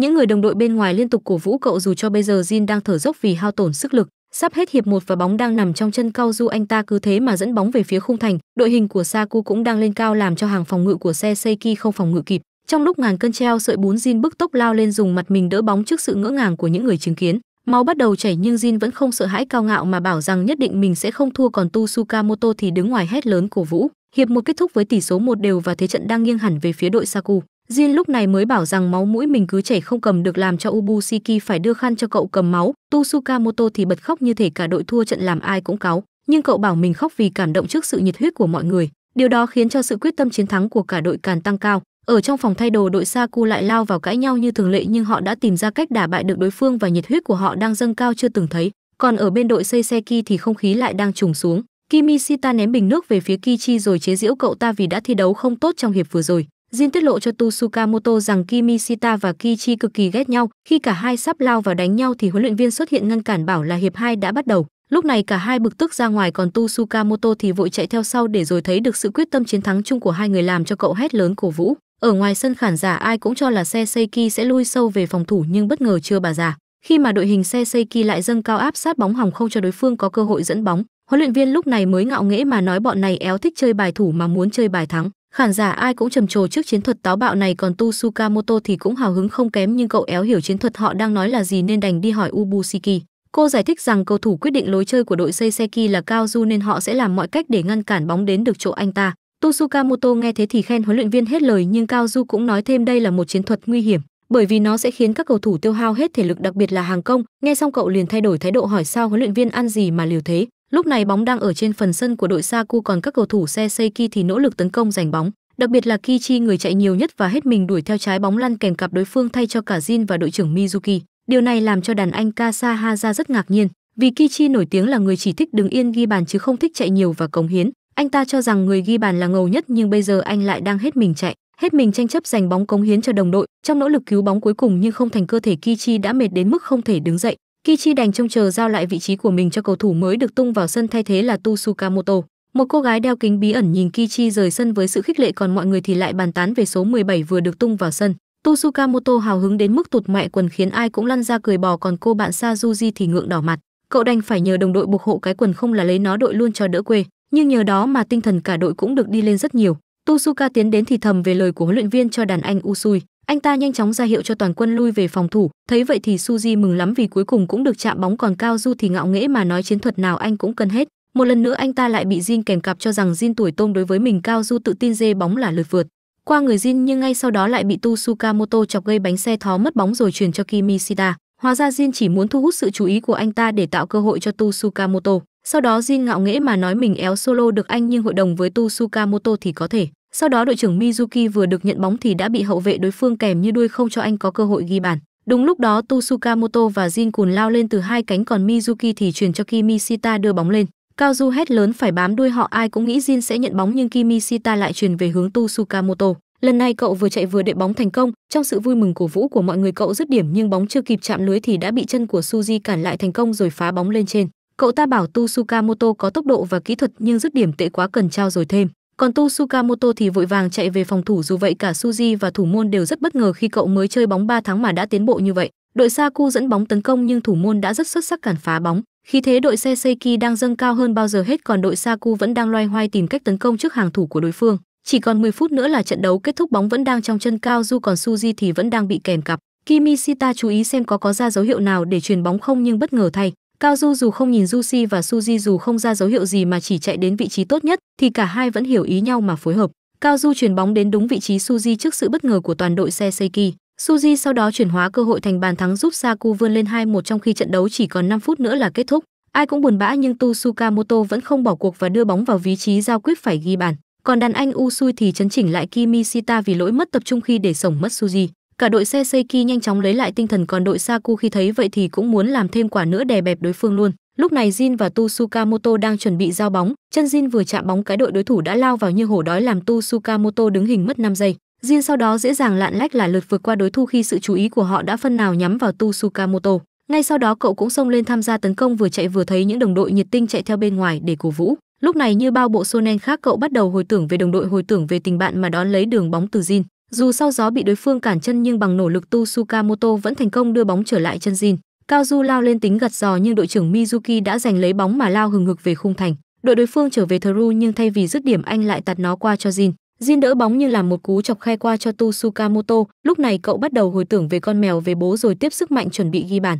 Trận đấu kết thúc và cả nhóm đang ăn mừng ở phòng riêng sau khi mùa giải kết thúc thì tiếng chuông cửa reo. Đang hí hửng tưởng là Tu Sukamoto thì cậu thanh niên vội vã chạy ra ngoài đẩy cửa. Tosukamoto đâu thì chả thấy, chỉ thấy đội trưởng Mizuki tay cầm bó hoa mình mặc bộ vest đi đám cưới ăn nguyên cánh cửa chảy máu mũi. Kasahaza gọi anh ra ngoài tâm sự mỏng về trận thua của họ trước đối thủ. Sáng hôm sau Mizuki chờ sẵn ở cửa để tiễn Kasahaza một đoạn ra ga tàu. Trước khi chia tay, anh hỏi về chấn thương của cậu nhưng rồi vẫn một mực tin tưởng về khả năng ghi bàn của Mizuki. Kasahaza mỉm cười bước lên tàu rời đi nhớ về kỷ niệm xưa cùng luyện tập gắn bó cùng Mizuki. Nhưng khi tàu rời đi được một lúc thì anh lại gục xuống mà khóc nức nở, còn Mizuki thì hừng hực quyết tâm hơn. Lúc này Jin đang cùng với những đàn anh cũ tham gia đá bóng phủi. Ở đây họ hỏi cậu tại sao không thấy Tu đâu, Jin bí quá đành lôi cái cớ Tu đau buồn chuyện tình cảm nên không tới. Điều này làm cho các đàn anh FA lâu năn thấu hiểu được nỗi khổ mà đau lòng bật khóc. Trận đấu chuẩn bị bắt đầu và họ quyết tâm chiến thắng vì sát boy Tu Jin nhớ lại khoảnh khắc đó khi mà Tu dù đã dùng tuyệt kỹ hồi tưởng nhưng vẫn sút bóng hụt làm lỡ mất cơ hội ghi bàn. Trọng tài thổi còi và chiến thắng thuộc về đội Saku còn bên kia, các thành viên Seiseki thì đau buồn bật khóc vì nuối tiếc. Jin cũng vậy nhưng cậu buồn hơn khi chứng kiến cảnh Tu Sukamoto đứng sừng sỡ trước khung thành đối thủ cảm xúc tuyệt vọng không nói lên lời. Nhớ lại cảnh tượng đó làm Jin sôi máu tấn công khung thành đối phương một cách hung bạo. Một người anh thấy cậu hôm nay có vẻ máu chó hơn thường ngày thì bèn hỏi cậu lý do. Khi biết được trận thua của Tu Sukamoto thì anh tỏ ra rất thấu hiểu còn Jin thì tỏ ra vô cùng băn khoăn. Cậu cảm thấy khó hiểu vì trước đây mình cũng có trận đấu thua nhưng chưa bao giờ trải qua cái cảm giác như lúc này khi Seiseki thua. Người đàn anh cười lớn bảo rằng đây khí là biểu hiện của việc cậu đã đam mê một thứ gì đó làm Jin nhớ tới lời của Tsukamoto. Lúc này Tsukamoto vẫn đang chăm chỉ chạy bộ thì bật gặp Ubushiki đứng chờ mình. Jin nhớ lại lời của người đàn anh mà mỉm cười vì cậu nghĩ đến lũ ngốc đồng đội của mình rồi bước tới sân bóng của cả đội lúc nào không hay. Lúc này Tsukamoto ngồi trong quán nước với vẻ bối rối vô cùng vì đây là lần đầu cậu đi uống nước với gái mà lại còn là với Ubushiki. Ubushiki nhận ra vẻ tiêu tụy của cậu khi mắt cậu nhìn như mắt lũ học sinh đang ôn thi đại học. Ubushiki có vẻ hiểu được tâm trạng lúc này của cậu làm cậu nghĩ rằng cô có đá bóng nhưng không phải. Cô kể về hồi xưa lúc cô còn đam mê làm nhà văn. Hang sai viết bài quên ăn quên ngủ nhưng mãi không thể đạt được thành công. Sự sợ hãi thất bại khiến cô mất ngủ mà liên tục cố gắng luyện tập, cố gắng viết vì sợ nếu dừng lại thì cảm giác thất bại đó sẽ đuổi tới. Lúc này Jin tại phòng thay đồ của đội bóng thì tỏ ra chán nản vì lũ đồng đội éo chịu dọn dẹp làm cậu phải ra tay. Nhưng độ phộng thằng nào dám dùng bút dầu vậy làm Jin chùi mãi không ra nhưng nước mặt cậu thì lại có. Jin bật khóc vì cậu thật sự muốn chiến thắng lần này, còn Tu Sukamoto lúc này thì không cho phép mình được khóc. Cậu cho rằng mình còn quá kém cỏi nên dẫn tới thất bại của cả đội. Cậu nhớ lại cảm xúc đồng đội lúc đó có người thì cắn chặt môi người thì òa khóc ngay tại sân người thì toàn thân run rẩy. Họ không hề trách cậu nhưng nhìn họ cậu biết rằng niềm khao khát chiến thắng trong họ chưa hề vơi đi. Chính vì thế Tu Sukamoto không cho phép mình được khóc. Ubushiki nghe vậy thì tức giận tóm cổ cậu bảo cậu khóc đi vì có ai cấm đâu. Thất bại mới là mẫu hậu của thành công cứ thoải mái mà đau buồn miễn là bản thân không bỏ cuộc, đồng đội không ai trách cậu cả đâu nên đừng đặt gánh nặng lên vai mình như vậy. Nghe thế Tu Sukamoto hồi tưởng về những người đồng đội những lời động viên rồi rưng rưng nước mắt xin phép cả thế giới để bố mày khóc to vãi ra bùng nổ hết cảm xúc dồn nén trong lòng. Còn đội trưởng Mizuki lúc này vẫn chăm chỉ luyện tập để không bao giờ thua nữa. Tu Sukamoto tiếp tục chạy bộ để luyện tập thể lực nhằm thoát khỏi cái bóng của một kẻ thất bại thì gặp được Sazuji. Nhìn cậu luyện tập chăm chỉ như vậy làm cô nhớ về trận thua chung kết vì không muốn cậu buồn cô bèn rủ cậu đi chơi lễ hội cùng mình. Tối đó Sazuji diện bộ kimono sinh vãi trưởng làm Tu Sukamoto khen hết lời còn người đi đường chỉ biết ngoái đầu nhìn. Đến lễ hội Sazuji nhắc cậu cẩn thận kẻo lạc như hồi nhỏ làm cậu lúng túng vì xấu hổ. Cô còn nhớ về kỷ niệm Tu Sukamoto chơi bóng nước rồi làm ướt đũng quần khiến bạn bè trêu chọc. Đang ngượng vãi ra thì cậu bắt gặp anh Kimishita đang bán mì soba anh liền ép cậu mở hàng cho mình bằng ba hộp. Cậu định đưa cho Sazuji thì bị một người mặc đồ trắng lướt qua đẩy ngã. Đó không phải vong mà là đội trưởng Mizuki theo sau là hai đàn anh Inohaza và hai ba gia đang cõng nhau. Nhìn cậu bây giờ quan hệ rộng khiến Sazuji rất mừng cho cậu vì trước nay ngoài cô ra cậu có chơi với ai éo đâu. Cô cố gắng an ủi cậu về trận thua kia vì cô biết cậu là người có tinh thần trách nhiệm rất cao. còn cậu thì cũng đã vơi đi phần nào cảm giác tội lỗi của bản thân mà tiếp tục phấn đấu. Nói rồi Sajuji bảo cậu bắt cho mình một con cá vàng nhưng Tu Sukamoto lúng cuống vì sợ làm không được. Nhưng trước sự cầu xin có tính chất bắt ép thì Tu Sukamoto đành hạ cái tôi xuống mà cầm vượt lên. Nhìn bộ dạng cậu Sajuji mới nhớ lại rằng người đi lạc năm xưa không phải là cậu mà chính là cô. Cậu chính là người đã ở bên động viên và đưa cô về. Đang xúc động thì Tu Sukamoto đã bắt được một chú cá vàng mà cô muốn nhưng ông chủ cá thì tính đấm cậu lắm rồi vì dám đứng hẳn trong bể luôn. Đang hí hứng được gái khen thì từ đâu đám bạn ập tới bắt quả tang cậu dám bỏ anh em đi với gái. Đang tra hỏi giờ sao mà cậu quen được cô sinh thế thì phải ngay lập tức kéo cậu đi. Hóa ra cái sạp bán của anh Kimishita bị đám báo này làm sập nên đang phải huy động nhân lực cứu chữa. Sajuji liền bảo cậu đi đi rồi buộc dây giày giúp cậu nhưng trước khi rời đi cậu vẫn không quên quay lại cảm ơn cô. Lúc này một đám bạn nữ đi tới thì thấy Sajuji đang đứng một mình trong bộ dạng bật khóc. Cô không kìm được mà than trời rằng mấy thằng chơi bóng kia cướp tu Sukamoto của mình rồi làm mấy cô bạn ngứa người phải đưa mì soba cho cô ăn để bớt đau khổ. Còn tại quầy thì chú báo tu Sukamoto lại làm cháy mì của Kimishita và đội trưởng Mizuki thì được ăn ké phở gì. Hôm nay những đàn anh trong câu lạc bộ quyết định tập hợp đám năm nhất lại và toàn là thành phần bất hủ. Không phải để luyện tập hay chạy bộ mà để dạy học cho đám năm nhất này vì nếu thành tích kém thì sẽ phải ở hè và không có thời gian cho câu lạc bộ. Kimishita đeo kính hối thúc bọn nó học thì Kusuzu bảo anh đừng có lưu manh giả danh tri thức làm Kimishita cáu bóp cổ luôn. Vì là học sinh tốt của năm hai nên Kimishita phải lãnh trách nhiệm dạy lũ này học vừa dùng bút chơi trò mạo hiểm vừa chửi bọn nó. Nhìn đống công thức trên vở Kusuzu vào đầu bứt tai bảo éo muốn làm đâu còn Tu Sukamoto thì nhiệt tình chỉ dạy. Bỗng có thằng tố giác Jin éo học mà chơi game làm Kimishita tính cho Jin một trận nhưng Jin bảo em Vipper rồi bóng đá vip luôn việc học anh ơi. Nhìn thành tích đỉnh cao của cậu Kimishita hỏi thế chú mày đến đây làm gì thì Jin bảo vui mới đến nên ngay lập tức bị đuổi về luôn. Học chưa thấm được câu nào thì cả đám than đói có thực mới vực được đạo. Thấy vậy Usui liền bảo mình sẽ đi nấu cà ri nhưng cho tám cái miệng hốc thì cần thêm người phụ nên rủ Tu Sukamoto đi cùng. Trong bếp nhìn Usui trổ tài nấu ăn vô cùng điều luyện khiến Tu Sukamoto rừng rực hết cả lên vì ngưỡng mộ. Usui hỏi cậu muốn nói gì à thì cậu lúng cuống qua khen luôn anh rất giống con dâu mẹ em làm Usui cười như được mùa. Usui hiểu rằng thành tích của Tu không tệ và cậu đến đây hôm nay chỉ để có thể phụ giúp cho mọi người làm cho Tu ngượng chín mặt. Nhưng rồi anh cũng biết cậu chưa xác định được vai trò của mình trong đội bóng chưa biết mình nên cần làm gì. Anh điềm tĩnh kể lại khi xưa đội trưởng Mizuki đá rất gà nhưng phấn đấu đã trở thành người giỏi nhất. Còn anh thì chỉ là một kẻ tự phụ ích kỷ nhưng sau khi các đàn anh ra đi để lại chức phó đội thì Usui mới thay đổi. Nhìn như người động đội sẽ sát cánh bên mình mà cảm thấy bản thân cần đưa họ đến chiến thắng vì Seiki. Đến đây thì Kaji chín nên Usui bảo cậu chuẩn bị hốc đi nhưng Tu Sukamoto bảo mình sẽ chạy đã rồi mới ăn sau đó hừng ngực khí thế ra ngoài. Lúc này đội trưởng Mizuki đi vào cảm ơn Usui vì đã thanh minh lãnh trách nhiệm huấn luyện tư tưởng cho Tu Sukamoto vì anh rất giỏi trong việc này. Vào ngày thứ hai của mùa hè cả bọn cùng tới tỉnh Kagoshima đấu tập 5 ngày 4 đêm. Dĩ nhiên là trường Seiseki bao giờ cũng được chú ý đặc biệt là đội trưởng quái vật Mizuki. Kusuzu và Tsukamoto đang háo hức vì nghĩ rằng ở đây để trải nghiệm sẽ rất vui nhưng Ubu bảo là có cái nịt. Vì năm nay toàn đội mạnh tham gia mà lại còn đến từ toàn quốc nên khả năng cạnh tranh giữa các đội là khỏi phải bàn nên hy vọng mọi người không ai chỉnh mảng luyện tập. Tại sân tập huấn luyện viên đang build lại đội hình của mình với quyết tâm phải giành được chiến thắng. Đội trưởng Mizuki khích lệ đám năm nhất rằng không được ra sân hay chơi dự bị cũng không sao cả, chỉ cần có quyết tâm và cố gắng thì sớm muộn họ cũng có thể giành được một vị trí trong đội.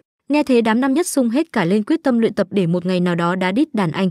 Thấy lũ ảo tưởng này láo quá Kimishita mới cho mỗi đứa một cú cho nhớ. Còn Tu Sukamoto cũng được nhắc nhở về việc cậu có thể thay thế vị trí của anh Kichi làm cho Kichi khá là bực tức đến hôn yêu cậu bằng đầu của mình. Usui đến ăn ủi động viên cậu và bảo rằng muốn lấy được vị trí của Kichi không dễ đâu vì cậu ta là người có tài năng và tư chất top của đội. Trận đấu mở màn giữa Buso và Seiseki bắt đầu. Thanh niên số 10 bên kia có vẻ khinh thường Seiseki ra mặt nhưng tiếng còi kết thúc vừa cất lên thì đội của anh ta đã bị Seiseki cho thành trẻ mồ côi với tỷ số 0-3. Trong đó đội trưởng Mizuki ghi hai quả còn Jin thì đánh dấu với một pha không thể cản phá. Huấn luyện viên quyết định tung đám dự bị năm nhất ra sân để thử nghiệm và Tu Sukamoto ra được ra thay cho Kichi. Nhưng Kichi éo muốn nên giữa anh và huấn luyện viên BAT đầu đôi co với nhau. Kichi hùng hằng bỏ đi còn Tu Sukamoto thì luống cuống vì bị đẩy ngã. Trên sân nhìn Kichi chật vật với hàng thủ của đối phương thì Tu Sukamoto có vẻ rất lo lắng còn Kimishita thì nhớ về. Đêm hôm trước Kichi đến cửa tiệm ám quẻ mình rồi hẹn ra đền gặp để hỏi về vấn đề mà bản thân anh còn thiếu sót khi chơi bóng. Với thái độ cầu xin thành khẩn của Kichi Kamishita nói toẹt ra những thiếu sót của anh làm cho Kichi tính cho cậu ăn một quả đấm, nhưng rồi lại dừng lại khi Kimishita bảo rằng anh qua tham lam và hỏi ngược rằng cậu muốn gì nhất. Kichi mới nắm chặt tay gồng cơ đít thích cơ mông bảo rằng bố mày muốn thắng. Lúc này trong tình thế hỗn loạn rằng Kokusuzu khó khăn lắm mới đưa được bóng đến chỗ Kichi còn lúc này Kimishita mới giải thích lý do tại sao Kichi dù là một trong ba mũi nhọn tấn công của Seiseki nhưng cậu ta lại ghi ít bàn nhất. Tất cả là vì anh ta quá ham ghi bàn nên thu hút hết hậu vệ đối phương từ đó tạo ra khoảng trống cho Jin và đội trưởng Mizuki. Cho nên cách tốt nhất để cải thiện là anh ta phải nhẫn nại. Lúc này Kichi truyền bóng cho đội trưởng Mizuki rồi kiên nhẫn để anh ta đánh lừa đối phương truyền ngược bóng cho mình làm cho cầu thủ đối phương bất ngờ. Kichi nhanh chóng dẫn bóng đối mặt một một với thủ môn rồi ghi bàn dứt điểm trước sự trầm trồ bỡ ngỡ của mọi người. Thấy Kichi đang lên đỉnh sung sướng, huấn luyện viên quyết định thay anh ta ra luôn và để Tu Sukamoto vào trận. Kichi gào thét trong đau khổ đến mức động đội phải vào lôi anh ta ra. Seiseki lần này cho hẳn 4 tân binh vào trận trong đó có Tsukamoto. Nhìn những người bạn thân thiết trên sân, Tsukamoto quyết tâm phải chiến thắng cho bằng được. Tiếng còi cất lên, cậu ta chạy và chạy đuổi theo bóng như đối thủ cũng nhanh chóng truyền bóng từ chân người này đến người khác. Dù vậy, Tsukamoto vẫn kiên trì lì lợm bám theo khiến cho tất cả mọi người trên khán DRI và cả đội bạn cảm thấy kinh ngạc. Nhưng trong một pha điệu nghệ đánh lừa bóng của cầu thủ đối phương, Tsukamoto đã pheo trong việc chặn đứng quả bóng. Dù cho sau đó cậu có cố gắng đuổi theo nhưng kết cục đối thủ đã thành công ghi bàn. Tosukamoto đứng rực ra cảm thấy bối rối còn huấn luyện viên thì bảo rằng chỉ chạy một mình bám theo bóng thôi là chưa đủ mà còn cần nhiều hơn thế nữa. Trước đây cậu làm nên chuyện là do có có Jin thu hút sự chú ý đối phương, nếu cậu đỡ bóng hụt thì có Mizuki tiếp bóng, còn việc chuyển bóng đã có Kimi Shitaro. Lý do ông cho cậu ra sân để cậu ngộ ra chân lý này sau mỗi lần thất bại. Rất nhanh đội đối thủ đã có được bàn thắng thứ hai còn những cậu thủ dự bị được tung vào sân giờ đã đuối sức. Trong lúc đó thì Tsukamoto vẫn chưa hiểu làm cách nào để họ có thể xoay chuyển tình thế. Kusuzu tiến đến nắm tay cậu bảo mày có thôi cái bản mặt đó đi không, rồi xin ý kiến của cậu về sự khác nhau về lối đá của mình so với anh Kimishita vì họ cùng chơi một vị trí như nhau. Tsukamoto ngờ nghịch bảo anh Kimishita trông tốt bụng hơn làm cho mấy người kia méo hiểu gì, còn Kusuzu ngộ ra rằng mình cần kiểm soát bóng và dứt điểm nhẹ nhàng hơn. Hai người kia cũng ngộ ra vậy rồi họ đồng loạt lất lại tinh thần chuẩn bị kế hoạch nghênh chiến còn Tsukamoto thì dõi theo hình bóng họ nhanh chóng lấy lại tinh thần. Trước sự quan sát của Jin Tsukamoto quyết tâm hơn bao giờ hết để giành lấy chiến thắng. Cả đám Kusuzu tìm được một cái áo ngực cỡ to khiến họ phân vân không biết của ai nhưng chắc chắn không thể nào là của bà Trần Ubushiki. Đang hí hửng thì Ubushiki từ sau xuất hiện cho mỗi thằng một đòn rồi yêu cầu cả đám năm nhất tập hợp lại. Cô không thể hiểu sao họ có thể ăn mừng sau khi chiến thắng đối thủ chỉ nhờ vào hiệp 1. Đang lên mặt dạy đời thì phát hiện thiếu Tu Sukamoto nên hỏi xem cậu ta trốn đi đâu.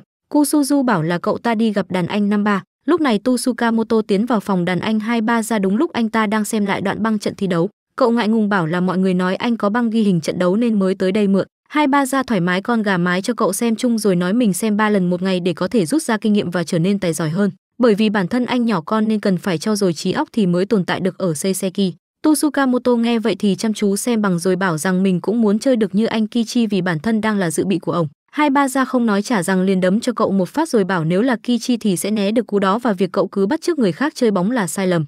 Nói rồi anh cho cậu mượn máy ghi hình để xem lại trận bóng và bảo cậu hãy tìm ra cách chơi phù hợp nhất cho mình rồi té lẹ đi chơi bài Uno.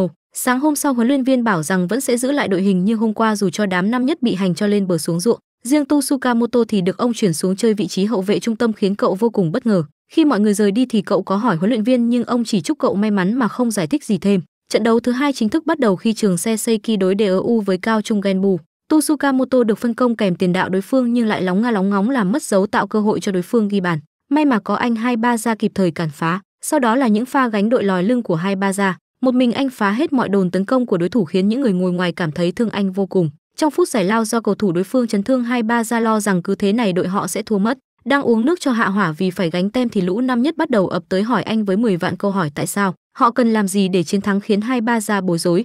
Nhưng anh đã là năm ba cho nên rất nhanh đã làm được một chàng giáo huấn chấn chỉnh đội hình rồi build chiến thuật cực kỳ chuyên nghiệp. Đối với Tu khi hỏi anh làm sao để phòng ngự hiệu quả, hai ba gia bảo rằng cậu cần đọc vị đối phương như một quyển sách đặt mình trong vị thế của họ. Những người đồng đội nhìn hai ba gia ra dáng trưởng thành như thế thì trước nay anh rất tự tin vì dáng người nhỏ bé của mình không thể bì được so với những người khác, nhưng giờ đây lại đang là một trụ cột của đội. Điều này còn khiến họ hiểu ra lý do vì sao huấn luyện viên đưa Tu chơi ở vị trí hậu vệ trung tâm. Nhưng Usui còn nhận ra một ý đồ nữa của huấn luyện viên đó là rèn luyện thêm kỹ năng cho Tsukamoto.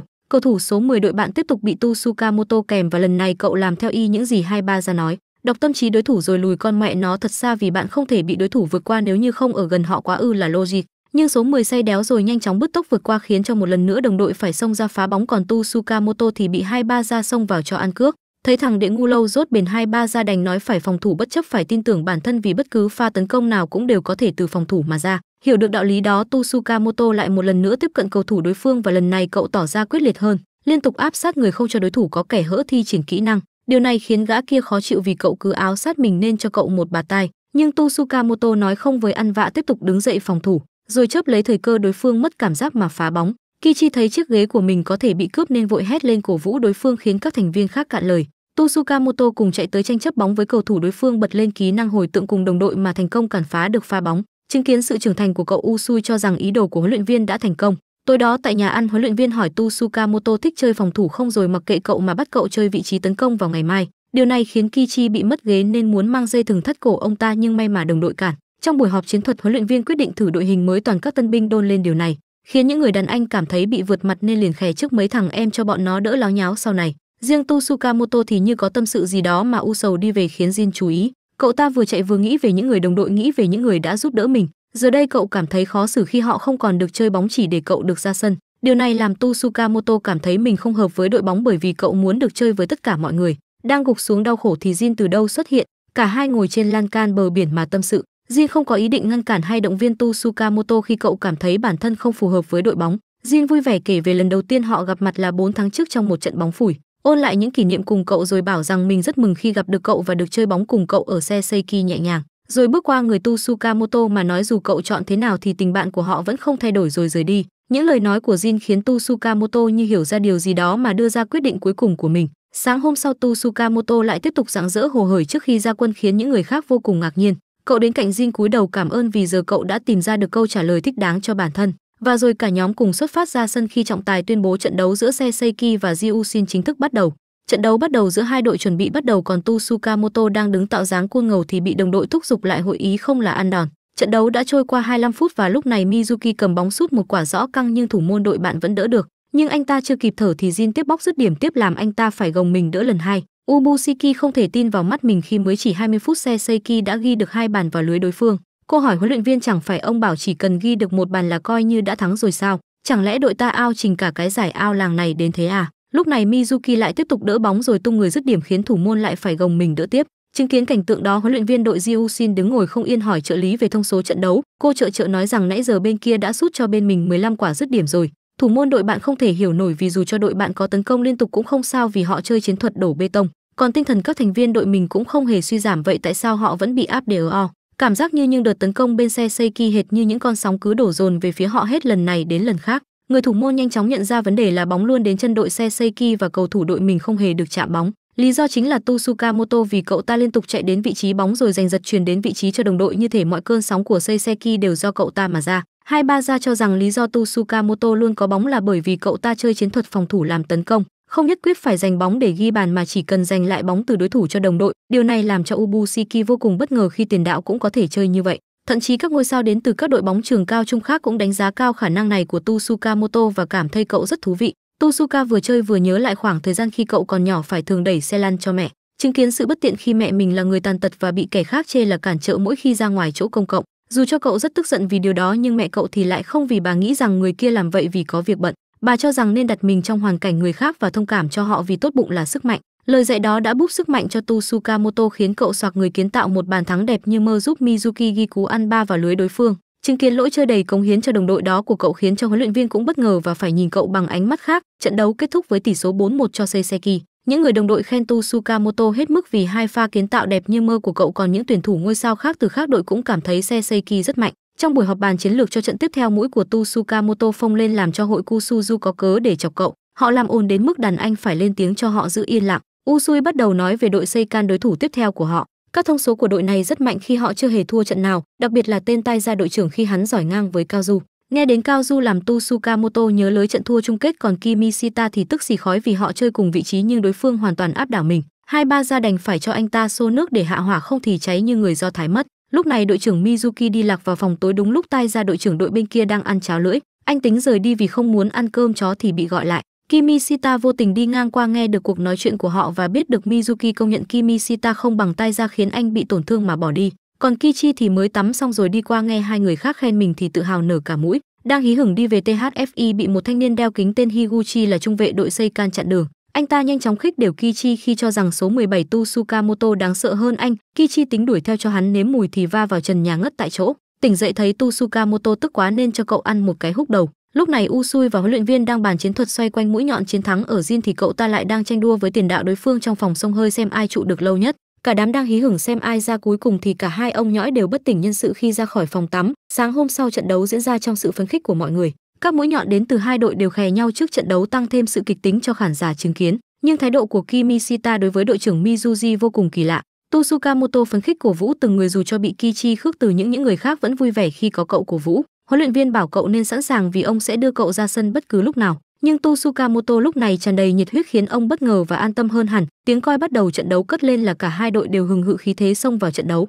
Trận đấu chính thức bắt đầu và phía Seika nhanh chóng kiểm soát bóng. Bóng trong chân tay ra ngay lập tức hai cầu thủ đội xe Seiki đến tranh cướp bóng nhưng dù làm thế nào thì cậu ta vẫn không hề bị xê dịch. tay ra nhanh chóng qua người rồi sút một pha bóng cực mạnh về phía lưới đối thủ, công hưởng với đó là Himuza nhẹ nhàng bay lên chỉnh hướng bóng vượt qua thủ môn và ghi bàn. Sự kết hợp đáng sợ khiến cho đội xe Seiki ngỡ ngàng, Himuza cởi áo ăn mừng nhưng huấn luyện viên thì bảo là anh đừng có chủ quan vì trọng tài biên vừa ra hiệu việt vị. Hoa Sra Usui đã nhanh chóng dồn người lên tạo bẫy việt vị nên bàn thắng không được công nhận. Dù vậy THFI khả năng kiểm soát bóng của Himuza khiến những người năm nhất phải thán phục. Dù vậy Tsukamoto bảo rằng bên mình cũng có một năm nhất siêu việt chính là Jin, lúc này Usui khiêu khích Jin đừng để đối phương lấn át thì Jin hừng hực máu lên. Bóng vừa đến chân là liên thể hiện kỹ năng dẫn bóng qua người một cách chuẩn xác không cần chỉnh rồi dứt điểm khiến cho thủ môn chỉ có thể đỡ bóng ra. Những người khác nhìn mà trầm trồ cho rằng đây là trận chiến giữa hai thiên tài năm nhất Jin và Himuza. Kimishita thực hiện cú đá góc và nhanh chóng đá nó lên cao. Kichi bật người tính đỡ nhưng đã bị tên Higuchi đẩy vai làm cậu đỡ hụt. Cây cú vi phi mất đi pha ghi bằng của mình Kichi tính cho hắn một đấm THFI bị huấn luyện viên ngăn lại.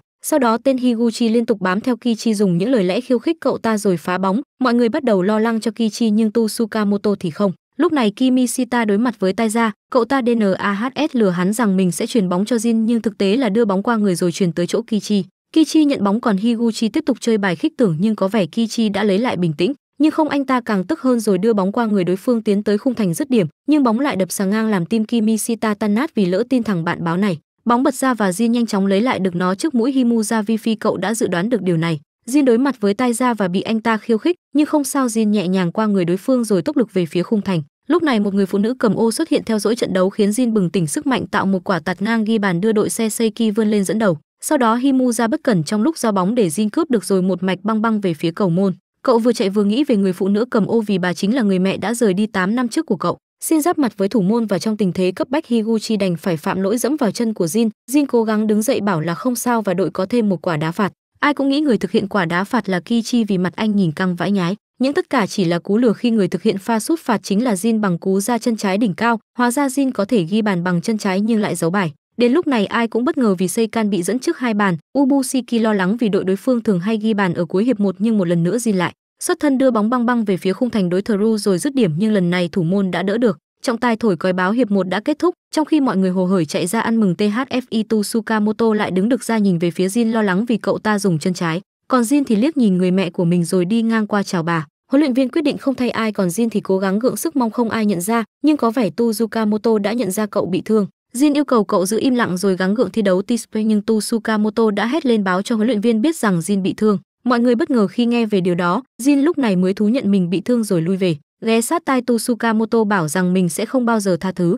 Ubushiki nghe được cuộc hội thoại của họ thì lo lắng, nhưng khi huấn luyện viên bảo cậu ra sân thì Tsukamoto lại không hề xuống sắc mà còn rất quyết tâm hơn. Himuza có vẻ cay cú vì là bản thân là một tiền đạo đẳng cấp mà hiệp một chẳng làm nên cơm cháo táo tàu gì. Đã thế còn để thằng tóc vàng tỏa sáng hai pha khiến bản thân bị lụi đi ánh hoàng quang. Huấn luyện viên thấy cậu tự kỷ thế thì gọi lại hội ý chiến thuật, bảo rằng sẽ cho thêm một tiền đạo nhưng Himuza không muốn vì trước giờ anh ta luôn là mũi nhọn của cả đội. Huấn luyện viên mặc kệ nhưng tay ra ngay lập tức đe dọa nếu ông cho thêm một tiền đạo mình sẽ bỏ đội. Không còn cách nào khác, huấn luyện viên cho họ 10 phút. Hiệp 2 bắt đầu và khán giả nháo nhào khi Jin bị thay ra thay vào đó là số 17 Tsukamoto. Bên Seikan giao bóng và Himu ra một mình lên bóng mà không có ai hỗ trợ.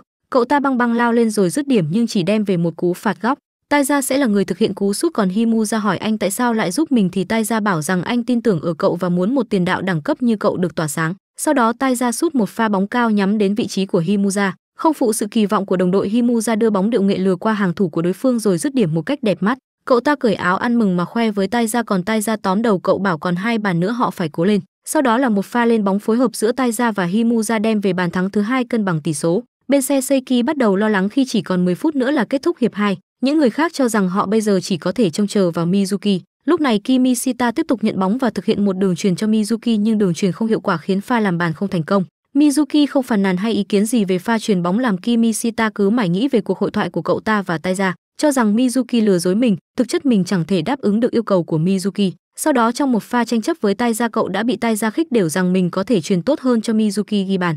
Kimishita cố gắng tỏ ra bình tĩnh nhưng những pha lên bóng sau đó cậu và Mizuki không thể phối hợp với nhau còn bên này Taiza và Himuza lại ngược lại. Họ kết hợp ăn ý ghi bàn thắng thứ ba, trong một pha tranh chấp Kimishita bị Taiza húc cho bất tỉnh. Cậu nhớ về hồi lúc mình còn là Tân Bình và rất cao ngạo thường xuyên đưa ra những đường truyền thử thách cho tiền đạo. nhưng bất ngờ là Mizuki hoàn toàn có thể bắt kịp được nó và ghi bàn. Họ tung hoành ngang dọc suốt mùa giải nhưng hai mùa gần đây lại không thể vô địch khiến cho Kimishita hoài nghi bản thân. Đang chìm đắm trong đau khổ thì bị Mizuki nhét nước vào mồm cho tỉnh. Tức quá, anh hỏi cậu về buổi nói chuyện giữa cậu và Taiza có phải rằng mình chưa bao giờ đáp ứng được một đường truyền hoàn hảo cho Mizuki hay không? Mizuki thẳng thắn thừa nhận mà mặt tỉnh bơ. Anh bảo rằng mình chả bao giờ thỏa mãn với ai cả và chỉ hỏi Kimishita có cao lên được nữa hay không. Lúc này Kimishita mới nhận ra bản thân đã tự kìm hãm.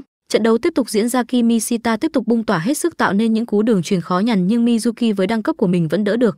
Higuchi lao lên phá bóng nhưng Tsukamoto đã lao lên dùng mặt cứu bóng. Sau đó là những pha truyền ngoạn mục kẻ tung người hướng giữa Kimishita và Mizuki làm cho đối thủ bắt đầu lo lắng khi họ bắt đầu ăn ý với nhau. Kimishita đỡ bóng dùng hết sức bình tĩnh ngăn cản tay ra rồi phát động một truyền không tưởng đến Mizuki giúp cậu ta ghi bàn sàn bằng tỷ số. Bây giờ cả đội đều ăn mừng còn Jin thì ủ rũ trùng khăn lên đầu vì không được chơi. Ubushiki ngứa mắt quá liền ném chiếc khăn đi bảo cậu ngẩng cao đầu mà xem cả đội chơi bóng. Trên sân Higuchi bắt đầu nhận ra sự đáng sợ của Tsukamoto và bắt đầu phải để mắt đến cậu. Trong một pha tấn công Tsukamoto thành công tìm được chỗ trông để dứt điểm nhưng ám ảnh về pha dứt điểm hụt đã khiến cậu chậm chân và đối thủ phá mất. Lúc này Ubushiki mới nuối tiếc mà nói cậu ta quá chậm chạp. Đến nhà xe lúc nào cũng sớm nhất nhưng lại kẹt ở nhà vệ sinh vì hồi hộp. Làm bài thi thì run quá rớt cục tẩy làm giáo viên tưởng giờ phao nhưng lại không dám ho he gì. Tsukamoto là một người thật thà đến mức mọi thứ cậu làm chỉ vì người khác, vì những người cậu tin là đồng đội. Jin lúc này mới nhớ lại lời mình rồi rồi hối hận vì những lời cay nghiệt đã nói với cậu. Jin đứng dậy bước đi khó khăn còn Tsukamoto lúc này lại có thêm một khoảng trống dứt điểm nhờ pha đánh đầu vào cột dọc của Kimishita. Lần này nhờ có Jin đứng ở sẵn ở khung thành cổ vũ nên Tsukamoto đã thành công dứt điểm vào khung thành, còn Jin mừng rỡ òa tiến ra ôm chầm lấy cậu ăn mừng chiến thắng. Trận đấu kết thúc và chiến thắng thuộc về đội Seiseki. Senkai mặc dù có những thàn thành tỏ vẻ vô cùng tiếc nuối cùng như tức giận vì để thua sát nút, nhưng rồi cũng nhanh chóng lấy lại tinh thần. Higuchi xin lỗi Kichi vì sự khinh bỉ mà anh dành cho cậu chỉ là chiến thuật tâm lý nhưng thực tế cậu rất tuyệt. Kichi nghe xong thì phớn hết cả lên quên đi mọi giận hờn. Tai ra công nhận thực lực của Kimishita hai người họ đang nói chuyện thì Mizuki từ đầu ghé sát cởi áo làm họ hú hồn. Hóa ra anh ta tưởng là sẽ có chuyên mục đổi áo đấu nhưng éo. Tai ra cho rằng Tsukamoto đã làm rất tốt và công nhận năng lực của cậu còn đội trưởng Mizuki thì mặc áo ngược mà trả lời là đệ anh nên giỏi là đương nhiên. Tsukamoto đang bối rối không biết nên xin lỗi Jin ra sao thì cậu ta từ đâu cầm lấy tay cậu kéo đi cùng mình. Jin dẫn Tsukamoto đuổi theo mẹ mình, cậu cất tiếng gọi làm bà rất bất ngờ. Cả hai bối rối không biết nói gì một cách tự nhiên nhất thì mẹ Jin hỏi về Tsukamoto. Cậu luống cuống giới thiệu mình là anh em cây khế của Jin làm bà bật cười. Jin sau đó bảo rằng cậu là bạn cùng lớp và là đồng đội trong đội bóng. Tsukamoto là một người bạn tốt của mình làm mẹ Jin vui lắm. Trước khi rời đi, Jin hẹn bà đến xem mình chơi tại giải quốc nội với đội tuyển và bà hứa nhất định sẽ tới đó. Cuối cùng kỳ thực tập hè cũng kết thúc, kết quả là đội Seiseki toàn thắng và họ đang phải chuẩn bị cho giải quốc nội sắp tới. Sáng sớm Sazuji đang đến trường thì bắt gặp Tsukamoto cùng đám năm nhất hồ hởi luyện tập còn Jin thì què quạt phải ở yên một chỗ chờ hồi phục. Cả hai nhìn Tsukamoto mà ngưỡng mộ khi bây giờ cậu đã là một phần không thể thiếu của Seiseki. Tại buổi luyện tập Kusuzu chạy hét lớn như cháy trường mà thông báo đã có lịch thi đấu dù bị bóp cổ. Nhìn đội hình chia thành 4 bản cùng các đối thủ sừng sỏ vô cùng khó khăn khiến mọi trường vô cùng cẩn trọng, đặc biệt là trường To In khi họ đã đại diện cho khu vực Tokyo 5 lần liên tiếp. Lúc này tại một trường khác nhưng cầu thủ thuộc đội cùng bảng với Seiseki cũng đang vô cùng phấn khích khi chuẩn bị nghênh chiến. Huấn luyện viên họp mặt tất cả thông báo về việc lịch thi đấu cũng như đây là cơ hội cuối cùng cho những thành viên năm ba được thi đấu cùng đội bóng nên dặn mọi người phải chiến thắng. Tsukamoto đạp xe về mà luôn nghĩ về điều đó nghĩ về cơ hội chơi bóng ít ỏi cuối cùng cùng các đàn anh, đến mức cậu và những người bạn năm nhất đêm đó không thể ngủ nổi. Trận đấu loại chính thức bắt đầu và Mizuki có bài phát biểu hùng hồn cổ vũ cả team ra trận đầy khí thế. Kimishita nhìn bảng đấu với kết quả là họ đã thắng trận vừa rồi nhưng còn 3 trận nữa mới có thể thắng giải quốc nội nhưng đối thủ của họ sau này là không hề dễ dàng. Đặc biệt là khi Mizuki để bản thân dính thẻ vàng ngay lần đầu ra quân nên phải cẩn trọng sau này. Đang tính đi về thì anh nghe tiếng ai đó chạy bộ nhưng không phải Tsukamoto mà là Kichi, điều này làm anh sốc vãi ra. Não chưa kịp loát lại vì lo trời sập nên anh tính lặng lẽ chuồn đi thì thằng em Tsukamoto chào rõ to làm lộ luôn vị trí của cả hai. Kichi và Kimishita lao vào đấu đá nhau vì cho rằng đối phương theo dõi mình. Kichi hỏi Kimishita rằng đội bóng sau này sẽ ra sao Kimishita trả lời dõng dạc đương nhiên là sẽ vô dịch giải quốc nội lần này chứ sao. Nhưng ý của Kichi là sau đó nữa cơ. Kichi bắt đầu nói lên khao khát của bản thân rằng khi mà Mizuki và những đàn anh năm ba rời đi, bản thân sẽ tiếp nối truyền thống vẻ vàng của xe Seiki và làm dạng danh nó. Bản thân sẽ trở thành huyền thoại. Sau đó anh cũng nhắc nhở Tsukamoto rằng sau này sẽ đến thời của cậu và cậu cũng sẽ lãnh trách nhiệm đó. Còn Kimishita nhắc nhở Kichi rằng đến cái thời đó thì anh tốt nghiệp con mẹ nó rồi ở đó mà chứng kiến. Kichi sốc quá bèn rủ Tsukamoto chạy 100 cây số cùng mình và rõ ràng là Tsukamoto không từ chối. Kimishita mỉm cười khi nghĩ về nó, cậu cho rằng những điều này suy cho cùng là tốt nhất cho Seiseki khi mọi thành viên đều nỗ lực như vậy. Còn Tsukamoto nhìn bóng lưng Kichi cùng đàn anh mà hết mình phấn đấu hơn. Seiseki đã giành chiến thắng ở trận đầu vòng bảng nhưng đội trưởng Mizuki lại dính chấn thương, còn trận đấu thứ ba lại diễn ra trong điều kiện thời tiết rất tệ. Lúc này Kichi đang được Ubushiki chăm sóc do anh bị dính chấn thương nặng, còn những thành viên khác cũng đang bị phạm lỗi. Chứng kiến trận đấu này, bộ ba chủ chốt bên To In tỏ ra chán nản, còn Ubushiki thì bất ngờ trước sự có mặt của ba người họ. Huấn luyện viên bảo rằng họ chính là đội đã đánh bại Seiseki ở vòng bảng năm ngoái rồi giới thiệu từng người bao gồm đội trưởng Hoshima, hậu vệ trung tâm Uzaba, thủ thành Isuguji. Lúc này đối thủ của Seiseki không phải là một đội mạnh nhưng lại có lợi thế khi trời mưa vì bọn chúng tha hồ sử dụng tiểu xảo để thi đấu triệt hạ đối thủ. Kimishita giữ bóng những chưa kịp làm gì một cái vô ảnh cước tí bay vào mặt. May là đội trưởng Mizuki lao lên túm cổ tên đó lại rồi cho hắn nằm đất, nhưng cũng vì như thế nên Mizuki ăn thêm một thẻ vàng. Lúc này bộ ba trường To In quyết định bỏ về vì cho rằng trận đấu đã kết thúc khi trường kia đã đạp vào đuôi hổ xe Seiki, kết quả là sau đó xe Seiki ghi bàn và chiến thắng. Nhưng dù cho Tsukamoto có ăn mừng đi nữa thì những thành viên khác lại không, bởi vì đội bóng đang ở tình thế vô cùng ngặt nghèo, Mizuki mà ăn một thẻ nữa là treo giày zin thì chấn thương chưa hồi phục. Còn Kichi thì bước ra từ phòng y tế với thái độ lạc quan nhưng Ubushiki bảo là đứt dây chằn mắt cá chân không được vận động mạnh. Tsukamoto tỏ ra lo lắng thì bị ăn một cái húc đầu rõ đau. Dù muốn được ra sân, nhưng Kichi quyết định sẽ đặt hết niềm tin vào cậu và cậu nhất định phải chiến thắng. Tosukamoto đồng ý với ánh mắt không ngán bố con thằng nào. Bộ ba to in đánh GIA tình hình của xe Seiki có vẻ căng khi trận sắp tới họ sẽ mất đi ba mũi nhọn. Đã thế còn phải đường đầu với trường Keoga VKA ra một trường mới thành lập nhưng không thể xem thường. Lúc này tại trường Keoga VKA ra đám cầu thủ đang hí hửng xem lại đoạn video ghi hình Ubushiki mà khoái chí hết cả lên dù sau đó cũng tái mặt vì tính bạo lực của nhỏ. Đội trưởng Mazu huy động mọi người chuẩn bị đi tập sau đó anh hỏi cai rằng thấy sao, cậu ta tỏ vẻ rất hứng khởi khi được đối đầu cùng xe Seiki. Dù vậy vẫn nghi hoặc về chiến thắng của đội mình còn Mazu thì không. Cậu cho rằng bản thân đang có lợi thế vì dù đội bóng mới thành lập được 2 năm nhưng nếu đánh bại được xe Seiki đội có truyền thống 50 năm thì sẽ là một chiến thắng lớn. Mazu hiểu ra đây chính là một lý do đầy sức nặng để họ hiên ngang chinh chiến. Ngày thi đấu chính thức bắt đầu và trong phòng thay đồ xe Seiki thì yên ắng đến đáng sợ. Huấn luyện viên lo lắng vì tinh thần đội sẽ đi xuống khi họ phải chơi đội hình mới mà không có ba trụ cột chính nhưng khi mở của ra thì ông lại bất ngờ khi thấy ai ai cũng tràn trề nặng lượng quyết tâm giành chiến thắng. Ông vui vẻ chúc các thành viên xung trận thành công, còn đội trưởng Mizuki đứng ở cửa chờ sẵn để trao chiếc băng đội trưởng lại. Những người đồng đội ra trận quyết tâm sẽ làm hết phần việc mà Mizuki đang giang dở và giành lấy chiến thắng này. Mizuki cũng một mực tin tưởng họ và khi anh gặp được Tu Sukamoto đang luống đi cuối thì ôn in hết cho cậu và cậu hứa sẽ giành chiến thắng. Bước ra khỏi tầng hầm Tu Sukamoto tràn trề nhiệt huyết, còn bên kia cũng mãnh liệt không kém. Trọng tài thổi coi ra hiệu cho trận đấu bắt đầu, bên xe Seiki là đội phát bóng nhưng khi Kimishita tính phát bóng lên thì tất cả cầu thủ đội mình đều bị kèm cặp. Cho rằng xe Seiki khi mất đi ba mũi nhọn thì sẽ chẳng làm nên cơm cháo gì nhưng đối phương đã nhầm. Kimishita éo thèm truyền bóng mà cứ thế lao lên dê bóng vượt người các kiểu. Nhưng rồi anh bị hậu vệ cai xoạc chân giành lại bóng, họ có vẻ quen biết nhau từ trước và cai cho rằng Kimishita vẫn không thay đổi vẫn giữ lối đá một mình sông pha. Nhưng khi cậu ta đanh gáy bẩn thì Tu Sukamoto đã giành lại bóng từ lúc nào không hay rồi qua người truyền bóng cho Kimishita. Kimishita hét to rằng bọn này không chỉ có ba mũi nhọn đâu nên chớ có xem thường xe Seiki. Kimishita có bóng và đang bị hậu vệ đối phương bao quanh. Kusuzu cánh phải muốn có bóng nhưng Kimishita quyết định chuyển cho Haiase cánh trái. Điều này có vẻ là quá khó khăn cho Haiase khi bị hai hậu vệ kèm chặt. Dù mọi người nghĩ rằng cậu ta không thể làm được nhưng Mizuki biết rằng Haiase là người có kỹ thuật dê bóng chân trái nhanh nhất. Còn Haiase cố gắng hết sức dê bóng di chuyển qua người đối phương hệt như Mizuki, nhưng rồi hậu vệ đối phương vẫn thành công phá bóng. Cầu thủ cai tính lao lên đón bóng thì Tu Sukamoto bất ngờ lao ra đỡ hộ rồi cướp lại bóng ngay trước mũi cậu ta. Hậu vệ đối phương không còn cách nào khác đành phải gạt giò Tu Sukamoto đem về cho xe Seiki một pha đá phạt đền.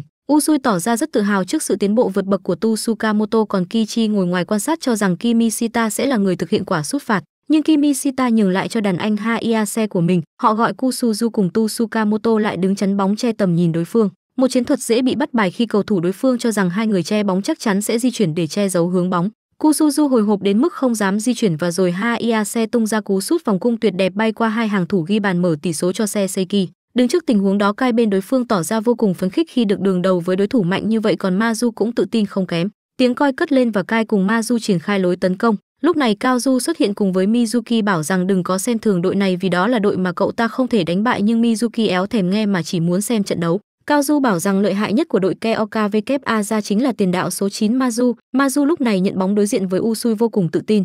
Cậu ta sử dụng kỹ thuật đặc biệt để qua bóng nhưng Usui không dễ bị đánh bại nhanh chóng cắt bóng phá tan cơ hội tấn công của đối phương. Bóng sau đó được dứt điểm bới cai nhưng thủ môn nhanh chóng chặn được. Mazu không bỏ qua cơ hội muốn bồi thêm cú nữa nhưng Inoha ra chơi như hách tiếp tục cản phá bóng thành công trước sự bất ngờ của đối phương. Bóng được truyền lên vị trí của Kusuzu đang đứng được ở đó, cậu ta bối rối chưa kịp phát bóng lên thì đã bị hậu vệ đối phương bảo vây may mà có hai ba ra giải vây. Chuyền bóng lên cho Haiase dứt điểm nhưng lần này thủ môn đã cản phá thành công. Cả khán đài và mọi người đều bất ngờ trước sức mạnh của đội xe Seiki dù không có ba chủ lực chính. Kimishita tiếp tục thực hiện một quả phạt góc còn Usui thì tiến đến thì thầm chiến thuật với Tsukamoto bảo cậu cứ làm điều mình thích. Sau đó bóng được sút lên thẳng vào mặt Tsukamoto, bóng vừa đến chân ai thì mọi người đều tập trung tranh bóng vô cùng căng thẳng. Nhưng Tsukamoto đã thành công giành lại bóng khi tất cả đang lộn xộn. Kai ngay lập tức áp sát cướp bóng nhưng Tsukamoto không chịu thua vặn mình cướp bóng lại ngay. Nhớ lại lời của Usuitu Sukamoto đưa ra một cú dứt điểm hiểm hóc. Tuy không vào lưới nhưng nó đã khiến cho Cao Du và mọi người xung quanh phải bất ngờ. Bóng được chuyển lên cho Mazu và lần này số 14 Inobe được phân công kèm cậu ta, nhưng vì tâm lý yếu cậu nhanh chóng bị vượt mặt. Trong lúc gắng rượt đuổi không may Inobe bị nứt cơ rồi vô tình làm đối phương ngã trong vòng cấm. Đội KOKVKA ra được hưởng một quả pen, còn cậu thì ăn một cái thẻ đỏ. Ở trong phòng thay đồ Inobe cảm thấy tự tin vì bản thân chơi bóng 10 năm mà không bằng Tu Sukamoto mới chơi mấy tháng. Đang lúc tuyệt vọng thì nghe tin thủ thành Inoha ra thành công cản phá quả pen cứu thua cho tem. Lưỡng thững bước ra cậu được Usui an ủi động viên làm cảm động chảy hết nước mắt. Seseiki sau đó tổ chức một pha phản công khi Kimishita chuyển bóng lên cho Kusuzu. Kusuzu tính chuyển bóng đẹp như Kimishita nhưng fail toàn tập, thế nhưng dù chuyển bóng không phải là thế mạnh của Kusuzu nhưng giữ bóng lại là sở trường của cậu. Cậu ta bất chấp hậu vệ bu vào mình như kiến nhưng vẫn giữ bóng trong chân như dính keo 502. Hai ba gia nhân cơ hội vươn lên nhận đường truyền bóng từ Kusuzu rồi tăng tốc tạt cánh nhưng lại đưa bóng thẳng về chân Tu Sukamoto chuẩn bị dứt điểm. Bóng đến chân Tu Sukamoto nhưng cậu lại dứt điểm trúng cột sàng ngang làm Kusuzu sút cho một cú vào mông. Bên đối đối phương cũng không vừa khi họ tổ chức một pha phản công ngang. Mazu nhanh chóng có pha truyền bóng bằng vai cho Kai dứt điểm. Cú đá hiểm hóc nhưng may mắn thủ thành Inohaza lại thành công cả phá. Tu Sukamoto nhìn pha thi đấu vừa rồi thì vô cùng kính nể đối phương. Kai được phân công thực hiện một pha phạt góc. Cậu ta dứt điểm đưa bóng bay đến vị trí mà Mazu đánh đầu bóng lại đạp vào sàng ngang. Sau đó là những pha tấn công liên tiếp từ phía trường KOKWA ra nhưng thủ môn Inohaza bảo có cái nịt mà anh để bóng vào lưới. Tiếng coi vang lên và hiệp một kết thúc với tỷ số 1 không nghiêng về xe Seiki. Ở trong phòng thay đồ đội Keokawa ra tổ chức hội ý, Mazu vừa khích lệ mọi người vừa làm mát con chim của mình khiến ai cũng bó tay. Dù vậy những đồng đội khác nhanh chóng quyết tâm phải giành chiến thắng, đặt niềm tin rằng Mazu sẽ ghi bàn ở hiệp 2. Đội Keokawa ra xuất phát với tâm lý khao khát chiến thắng cùng cực. Ở hiệp 2 huấn luyện viên Seiseki quyết định thay đổi chiến thuật khi chỉ có 3 hậu vệ làm ai cũng bất ngờ. Mazu và Kai giao bóng rồi nhanh chóng phối hợp tấn công nhanh nhưng Usui quá kinh khủng khi chặn hết tất cả không cho họ có cơ hội ghi bàn. Bóng bay lên và Kimishita chuyển bóng cho Tsukamoto. Dù cậu đã khống chế được bóng nhưng hậu vệ đối phương đã xông ra ngăn cản thành công. Hai người Kai và Mazu ngay lập tức bị mắng xối xả vì tấn công không lo tấn công và lại chạy về phòng thủ. Nếu không tin tưởng hàng thủ bên mình thì biến hộ. Kai và Mazu ngay lập tức trở lại vị trí đặt niềm tin nơi đồng đội của mình và dưới sức mạnh tình bạn thì hàng thủ đã truyền được bóng lên cho Kai. Kai vặn mình truyền bóng cho Mazu ghi bàn cân bằng tỷ số khiến khán giả đội nhà gào thét trong sung sướng. Khi đã có đạt thì hiệp 2 sau đó đội Ke Okawa ra liên tục kiểm soát thế trận, còn đội Seiseki thì chơi trong tình trạng thiếu người cho nên rất bất lợi. Đối phương thế mà tấn công liên tục nhưng dưới sự xuất sắc của thủ thành Inohaza và Usui thì họ vẫn không để thủng lưới. Cả đội BAT đầu tranh cãi nhưng Usui đã yêu cầu họ bình tĩnh lại và ra lệnh cho tất cả nhắm mắt biết mình là ai, chuẩn bị cho một pha phạt góc của đối phương. Ubushiki rất bất ngờ khi họ có thể giữ được cái đầu lạnh như vậy. Huấn luyện viên bảo tất cả là nhờ Usui vì lúc đầu ông tính cho cậu làm đội trưởng, nhưng cậu lại bảo mình giỏi nên cho làm đội phó hỗ trợ là được và đề xuất cho Mizuki làm đội trưởng. Seiseki tổ chức phản công với Usui đi bóng dẫn đầu, cả đội leo lên mà không thèm để lại ai ở lại phòng thủ. Sau đó với nghị lực và trọng trách đội trưởng trên vai Usui cố gắng đưa bóng đi dù cho hại cầu thủ đối phương ra sức ngăn cản. Và rồi trong một pha rối loạn bóng bị mất kiểm soát nhưng may mắn mà đã có Tu Sukamoto đứng đó đón bóng tính làm một cú vô lê tuyệt đẹp. Chưa kịp thể hiện cậu lại bị đối phương quật ngã đem về một pha phạt đền. Đông đội tiến đến cổ vũ nhưng Tu Sukamoto nhanh chóng đưa bóng cho Kimishita bảo anh hãy ghi bàn. Anh hùng hăng nhận lấy rồi bảo cậu lau máu ở tay đi và mình sẽ khiến lưới đối thủ rung. Usui lui về giao chọn niềm tin cho cậu. Đứng trước pha dứt điểm đầy thử thách của Kimishita, Kichi nhớ ra rằng cậu ta đã luyện tập nó rất nhiều chỉ chờ đến thời khắc này. Kể cả Cao Du cũng bảo pha này rất khó và cần độ chính xác cao không là fail như chơi. Kimishita nhận ra mình không thể giỏi như Cao Du cũng như xuất sắc như Tai ra nhưng anh có độ chính xác từ cái chân phải này. Nói rồi anh đưa chân dứt điểm vào vị trí hiểm hóc ghi bàn thắng thứ hai cho xe Seiki.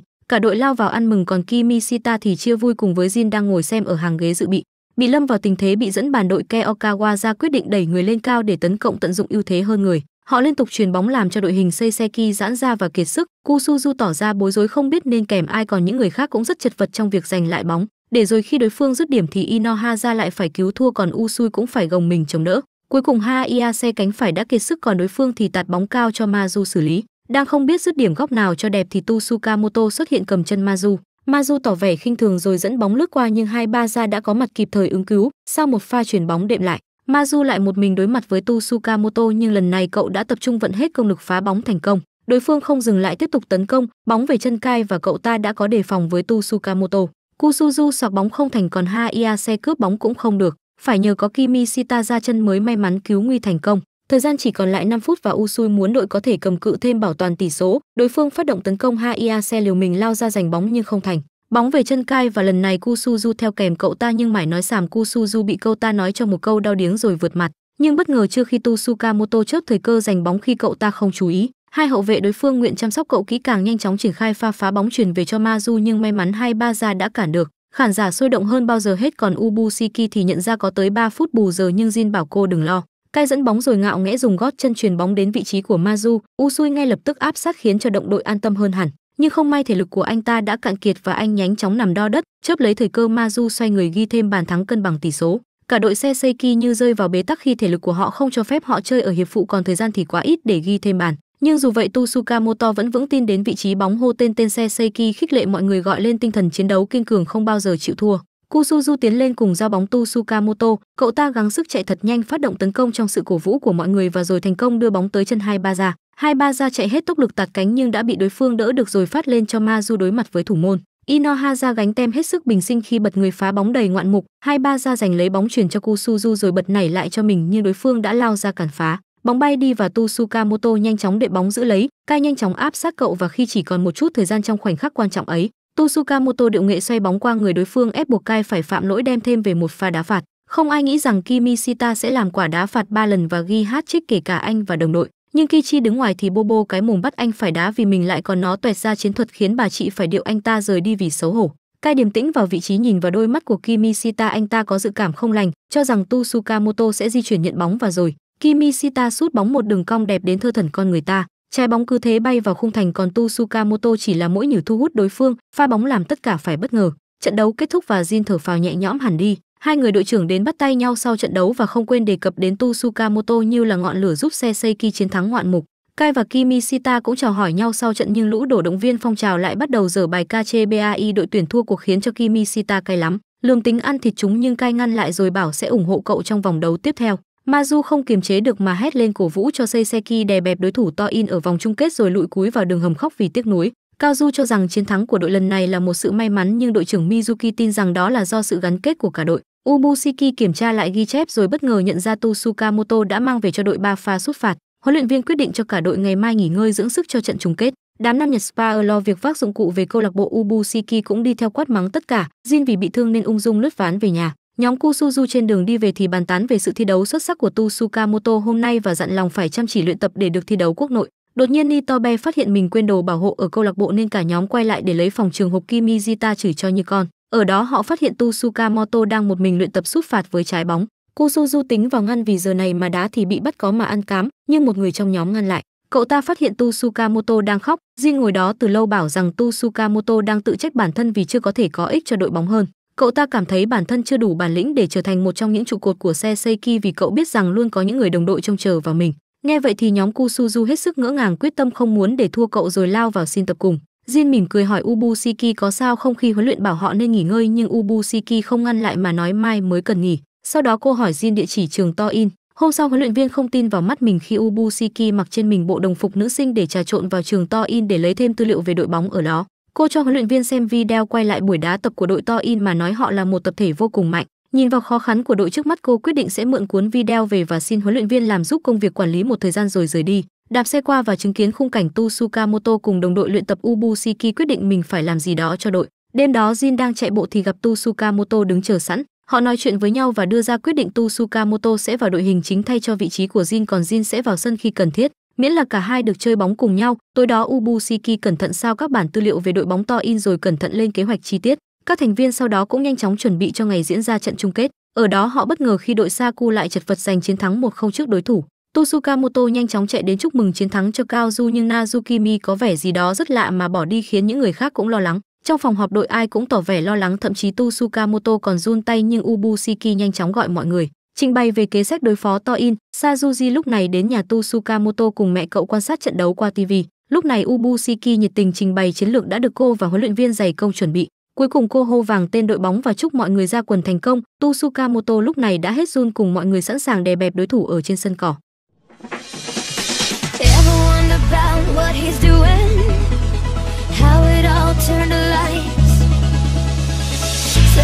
think that Ladies and gentlemen, please welcome DJ there is desire, there is gonna be a flame.